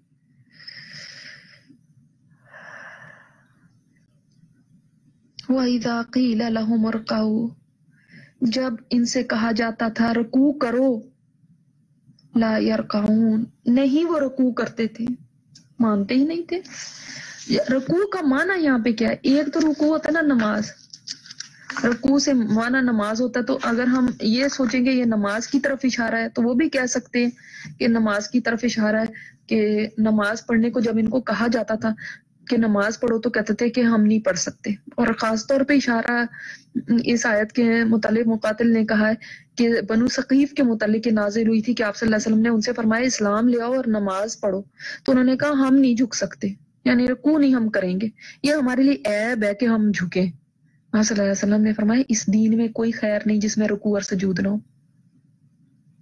اور ہاں، آپ نے سورہ قلم میں پڑھا تھا نا کہ جو سجدہ دنیا میں نہیں کرتے، ان سے جب وہاں پہ کہا جائے گا کہ سجدہ کرو، جب سب سجدہ کریں گے، وہ نہیں سجدہ کر سکیں گے۔ تو ایک تو یہ ہے، ان کے لیے وہی لو یوم للمقدبین ہے۔ ایسے جڑانے والوں کے لیے جو نماز نہیں پڑھتے، آپ دیکھ لیں، اس پارے میں ایک نماز کا اور ایک کھانا کھلانے کا۔ بار بار اس پارے میں اسی بات کی تکرار ہے، کتنی دفعہ ہم پڑھ چکے ہیں نا؟ پھر بھی اگر ہماری نمازیں نہیں درست ہوئی نا، تو آپ بتائیں کیا پھر ہم نے سیکھا؟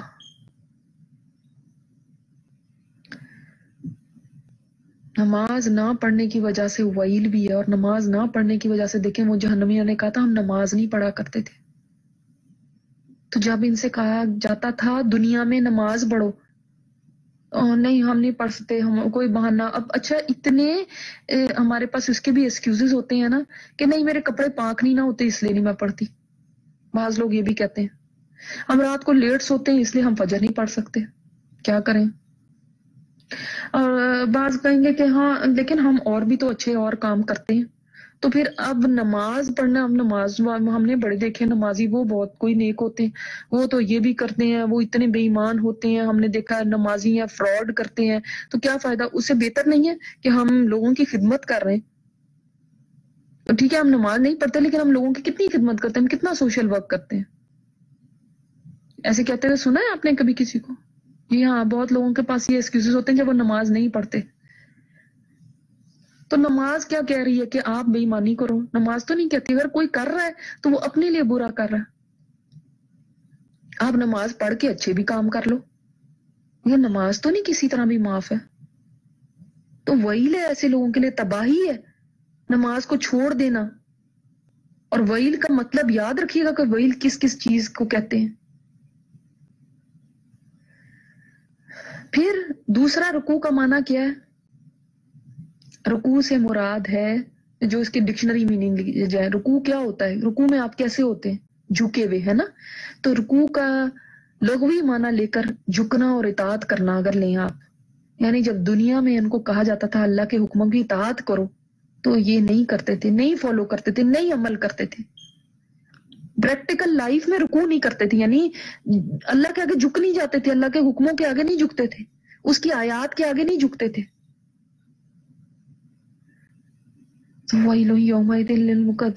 اللہ اکبر، اللہ ہمیں معاف فرما دے۔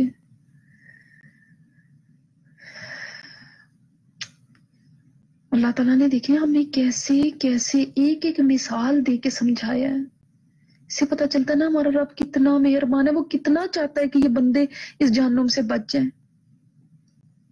طرح طرح کے دلائل دے کر اللہ تعالیٰ نے ہمیں اس صورت میں سمجھایا۔ دیکھو قیامت آ کے رہے گی۔ پھر مان جاؤ۔ کیسے کیسے ہمارا رب ہمیں منوا رہا ہے۔ اتنے دلائل کے باوجود اگر تم نے نہ مانا، تو ایک کام تو پھر ہو کے رہے گا۔ کہ تباہی ہے پھر ہلاکت ہے پھر۔ پھر ایسے ہٹ دھرموں کے لیے ان کا علاج پھر آگ ہی کرے گی نا، جن کا علاج ان دلائل سے نہیں ہو سکتا، جو اس سے نہیں مانتے، تو وہ اسی سے جا کے مانیں گے۔ فبی ائی حدیث بادہ یؤمنون، پھر بتاؤ اس کے بعد کون سی بات کو تم مانو گے؟ کس پہ تم ایمان لاؤ گے؟ اتنی باتیں سن کے بھی اگر تمہاری آنکھیں نہیں کھل رہی، تو کون سی بات تمہیں، بتاؤ کون سی بات تمہیں سمجھائے گی؟ حدیث سے قرآن مراد ہے، اس کی آیات آیت مراد ہیں۔ کہ تمہیں اتنے دلائل تمہارے سامنے بتائے جاتے ہیں، زمین آسمان سے مثالیں دی جا رہی ہیں، پچھلی قوموں کی مثالیں دی جا رہی ہیں۔ تمہاری پیدائش کی تمہیں یہ پچھلی ہم نے صورتوں کے اندر موت کے وقت کے مناظر دکھا کے اللہ تعالیٰ نے ہمیں سمجھایا ہے۔ اب اگر تم یہ سب سن کے بھی راہ راست پہ نہیں آتے، تو یہ بتا دو پھر تم کیسے آؤ گے؟ پھر اور وہ کون سی بات ہے جو تمہارے سامنے آئے گی جس پر تم مانو گے؟ اگر اس قرآن کا بھی انسان یقین نہ کرے، اس کے بعد بھی زندگیاں نہ بدلیں اس کے بعد بھی ہمارا حال نہیں بدلتا، ہمارا عمل نہیں بدلتا۔ تو اللہ تعالیٰ پوچھ رہے ہیں نا کہ بتاؤ پھر اور کون سی چیز تمہاری اصلاح کرے گی؟ کیا جہنم کی باتیں عبرت دلانے کے لیے کافی نہیں ہے کیا جنت کی نعمتیں، اس کی خوشخبریاں، اس کی انعام اس قابل نہیں ہے کہ جن کے شوق میں تم زندگی بدل لو؟ کیا قیامت کے دن کا خوف جواب دہی کا خوف کافی نہیں ہے تمہارے سدھرنے کے لیے؟ اس کے بعد تو کوئی اور چیز ہے ہی نہیں جو کسی کو سدھارے۔ پھر یہ پڑھ کے بھی کوئی نہ مانے تو اس کا کیا چیز علاج کرے گی؟ سورہ حشر میں تو ہم نے پڑھا تھا نا، لو انزلنا هذا القرآن على جبل لرأيته خاشع متصدعا من خشیت اللہ۔ اگر ہم اس قرآن کو کسی پہاڑ پہ بھی اتار دینا تو وہ پہاڑ بھی خوف سے ریزہ ریزہ ہو جائے۔ اللہ تعالیٰ کے خوف سے۔ یہ دل کیسے ہیں جو اللہ سے نہیں ڈرتے؟ یہ نہیں ریزہ ریزہ ہوتے۔ یہ مانتے ہی نہیں ہیں۔ یہ کسی طرح ان کو فکر ہوتی نہیں۔ یہ زندگیاں بدلتی نہیں ہیں۔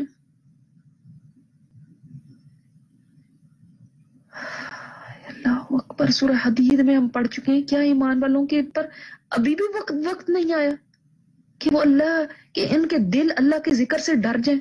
یعنی اس قرآن سے ڈر جائیں، ان کے ذکر ابھی بھی نہیں آیا وہ وقت۔ ہم تو پورا قرآن پڑھ چکے ہیں۔ اب انتیسویں پارے پہ آ گئے۔ ابھی بھی وہ وقت نہیں آیا۔ ابھی بھی ہم یہیں پہ ہنسی مزہ کھیل، تماشے، کھاؤ، پیو، فن، مزے اسی کے اندر پڑے ہوئے ہیں۔ اور ہمیں کوئی فکر نہیں ہے کہ ہم نے آگے جانا ہے۔ پھر کون سی چیز سدھارے گی؟ کون سی چیز تمہیں سمجھائے؟ کیونکہ یہ اس کے بعد اور کوئی چیز نہیں ہے۔ یعنی یہ کہنے کا مقصد یہ ہے کہ اس یہ یہ اتنا بہترین اللہ تعالیٰ نے کلام اتارا ہے۔ زندگیاں بدلنے کا پروگرام ہے یہ۔ یہ زندگی بدلتا ہے۔ اسی نے صحابہ کی زندگی بدلی۔ اس کے بعد تو کوئی چیز نہیں ہے جو آئے گی۔ کون سی چیز آئے گی؟ اب فرشتے اتر آئے آسمان سے جو ہمیں سمجھائیں گے۔ ہاں؟ یہ اللہ تعالیٰ سامنے آ جائیں۔ کیا چیز آئے گی؟ کون سی چیز ہمیں بدلے گی؟ اگر اتنی عمر ہماری اب ہو چکی ہے اس کے بعد بھی قرآن کو سیکھنا، اس کو پڑھنا، اس کو سمجھنا ہمارے لیے کوئی اہم بات ہی نہیں ہے۔ اس کے بعد بھی ہم قرآن کو بس لائٹلی لیں۔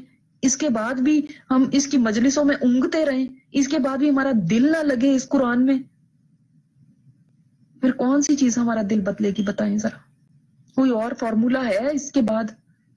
کوئی اور چیز ہے؟ اور کیا آئے گا مجھے بتائیں؟ اللہ تعالیٰ کی طرف سے اور کیا آنا چاہیے؟ اللہ تعالیٰ پوچھ رہے ہیں، فبی یہ حدیث بات انہوں نے اس کا جواب دیں۔ کون سی بات ہے اس کے بعد جس پہ تم ہی مان لاؤ گے؟ کیسے مانو گے تم بتاؤ؟ یہ تم اتنی باتیں سن کے بھی نہیں مان رہے۔ کون سی چیز تمہیں راہ راست پہ لے کر آئے؟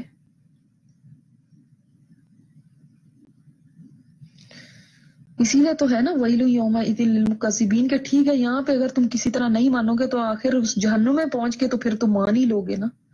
کیونکہ جو یہاں نہیں مانتا، اس کے لیے ویل ہے۔ وہاں پہ تو جا کے خیر سبھی مان جائیں گے۔ بلکہ بغیر سمجھائے ہی مان جانا ہے لوگوں نے۔ بغیر کسی دلیل کے ہی مان جائیں گے۔ بغیر کہے ہی مان جائیں گے۔ کہنا نہیں پڑے گا۔ اور ایسے مانیں گے، ہاتھ جوڑ جوڑ کے مانیں گے۔ سورت کے آخر میں لا کے نا اللہ تعالیٰ نے ایسی بات سامنے رکھ دی کہ انسان سوچنے پہ مجبور ہو جاتا ہے، واقعی پھر کون سی ایسی بات ہے؟ کون سی میرے پاس ایسی کوئی کوئی دلیل ہے، کوئی ایسی بات ہے، کوئی ایسا ہیلا ہے، کوئی ایسا بہانہ ہے، کوئی ایسی ٹھوس چیز ہے جو میں سامنے لے کر آؤں کہ ہاں بھی یہ بات ہے جو مجھے منوائے گی۔ اللہ کا کلام دیکھیں انسانوں کو کیسا بے بس کر دیتا ہے نا۔ بتاؤ اب۔ پھر بھی انسان نہ سمجھے تو پھر ہلاکت ہے، تباہی ہے، بربادی ہے۔ اور حدیث میں آتا ہے، آپ صلی اللہ علیہ وسلم نے فرمایا ہے کہ جو پھر اس کو پڑھے اور یہاں تک پہنچے نا، اس کو پھر چاہیے کہ اس کا جواب دے۔ اس آیت کا جواب دے۔ اور جواب کیا ہے؟ آمنا باللہ۔ کیونکہ یہ سوال کیا جا رہا ہے نا اس کے بعد پھر کس بات پہ ایمان لائیں گے تو ہم کہتے ہیں، ہم ایمان لائے اللہ پر۔ ہم ایمان لے آئے، واقعی لے آئے۔ اللہ ایمان ہمارے دلوں میں اتار دے ہاں ایمان کو ہمارے دلوں کی بہار بنا دے یا اللہ ہمارے ایمان کو ایسا مضبوط کر دے جیسے پہاڑ ہے جو اپنی جگہ سے نہیں ہلتے۔ یا اللہ ہمیں وہ ایمان نصیب فرما جو صحابہ کرام کا تھا۔ ہم آمنا باللہ کہہ بھی دیں پھر بھی ہمارا ایمان کتنا متزلزل ہے۔ پھر بھی ہم بھولنے والے ہیں۔ پھر بھی ہم مانتے ہی نہیں ہیں۔ ایمان تو وہ ہے جو مان جائے نا۔ اللہ تعالیٰ ہمیں وہ ایمان نصیب فرما دے ایمان کی حلاوت ہمیں نصیب فرما دے اللہ ہمیں متقین میں شامل فرما دے اللہ قرآن کا حق ادا کرنے والے میں بنا دے۔ اللہ ویل کے عذاب سے ہمیں بچا لے۔ ویل کی وادی سے ہمیں بچا لے۔ اللہ اس خون کچ لہو پیپ سے بھری ہوئی وادی سے ہمیں بچا لے۔ اللہ ہم تیرے عذاب نہیں سہ سکتے، تو ہمیں محفوظ رکھنا اپنے عذابوں سے۔ سبحانك اللهم وبحمدك نشهد ان لا اله الا انت نستغفرك ونتوب اليك یہ پارا بہت کچھ سوچنے پہ ہمیں چھوڑ کے اختتام کو پہنچا ہے۔ بہت ساری چیزیں اس پارے میں، اس پورے جز میں، اس کی صورتوں میں بہت ساری ایسی چیزیں جو ہماری فکر کرنے کے لیے، ہمارے سوچنے کے لیے کبھی وقت ہو تو ان پر سوچئے گا۔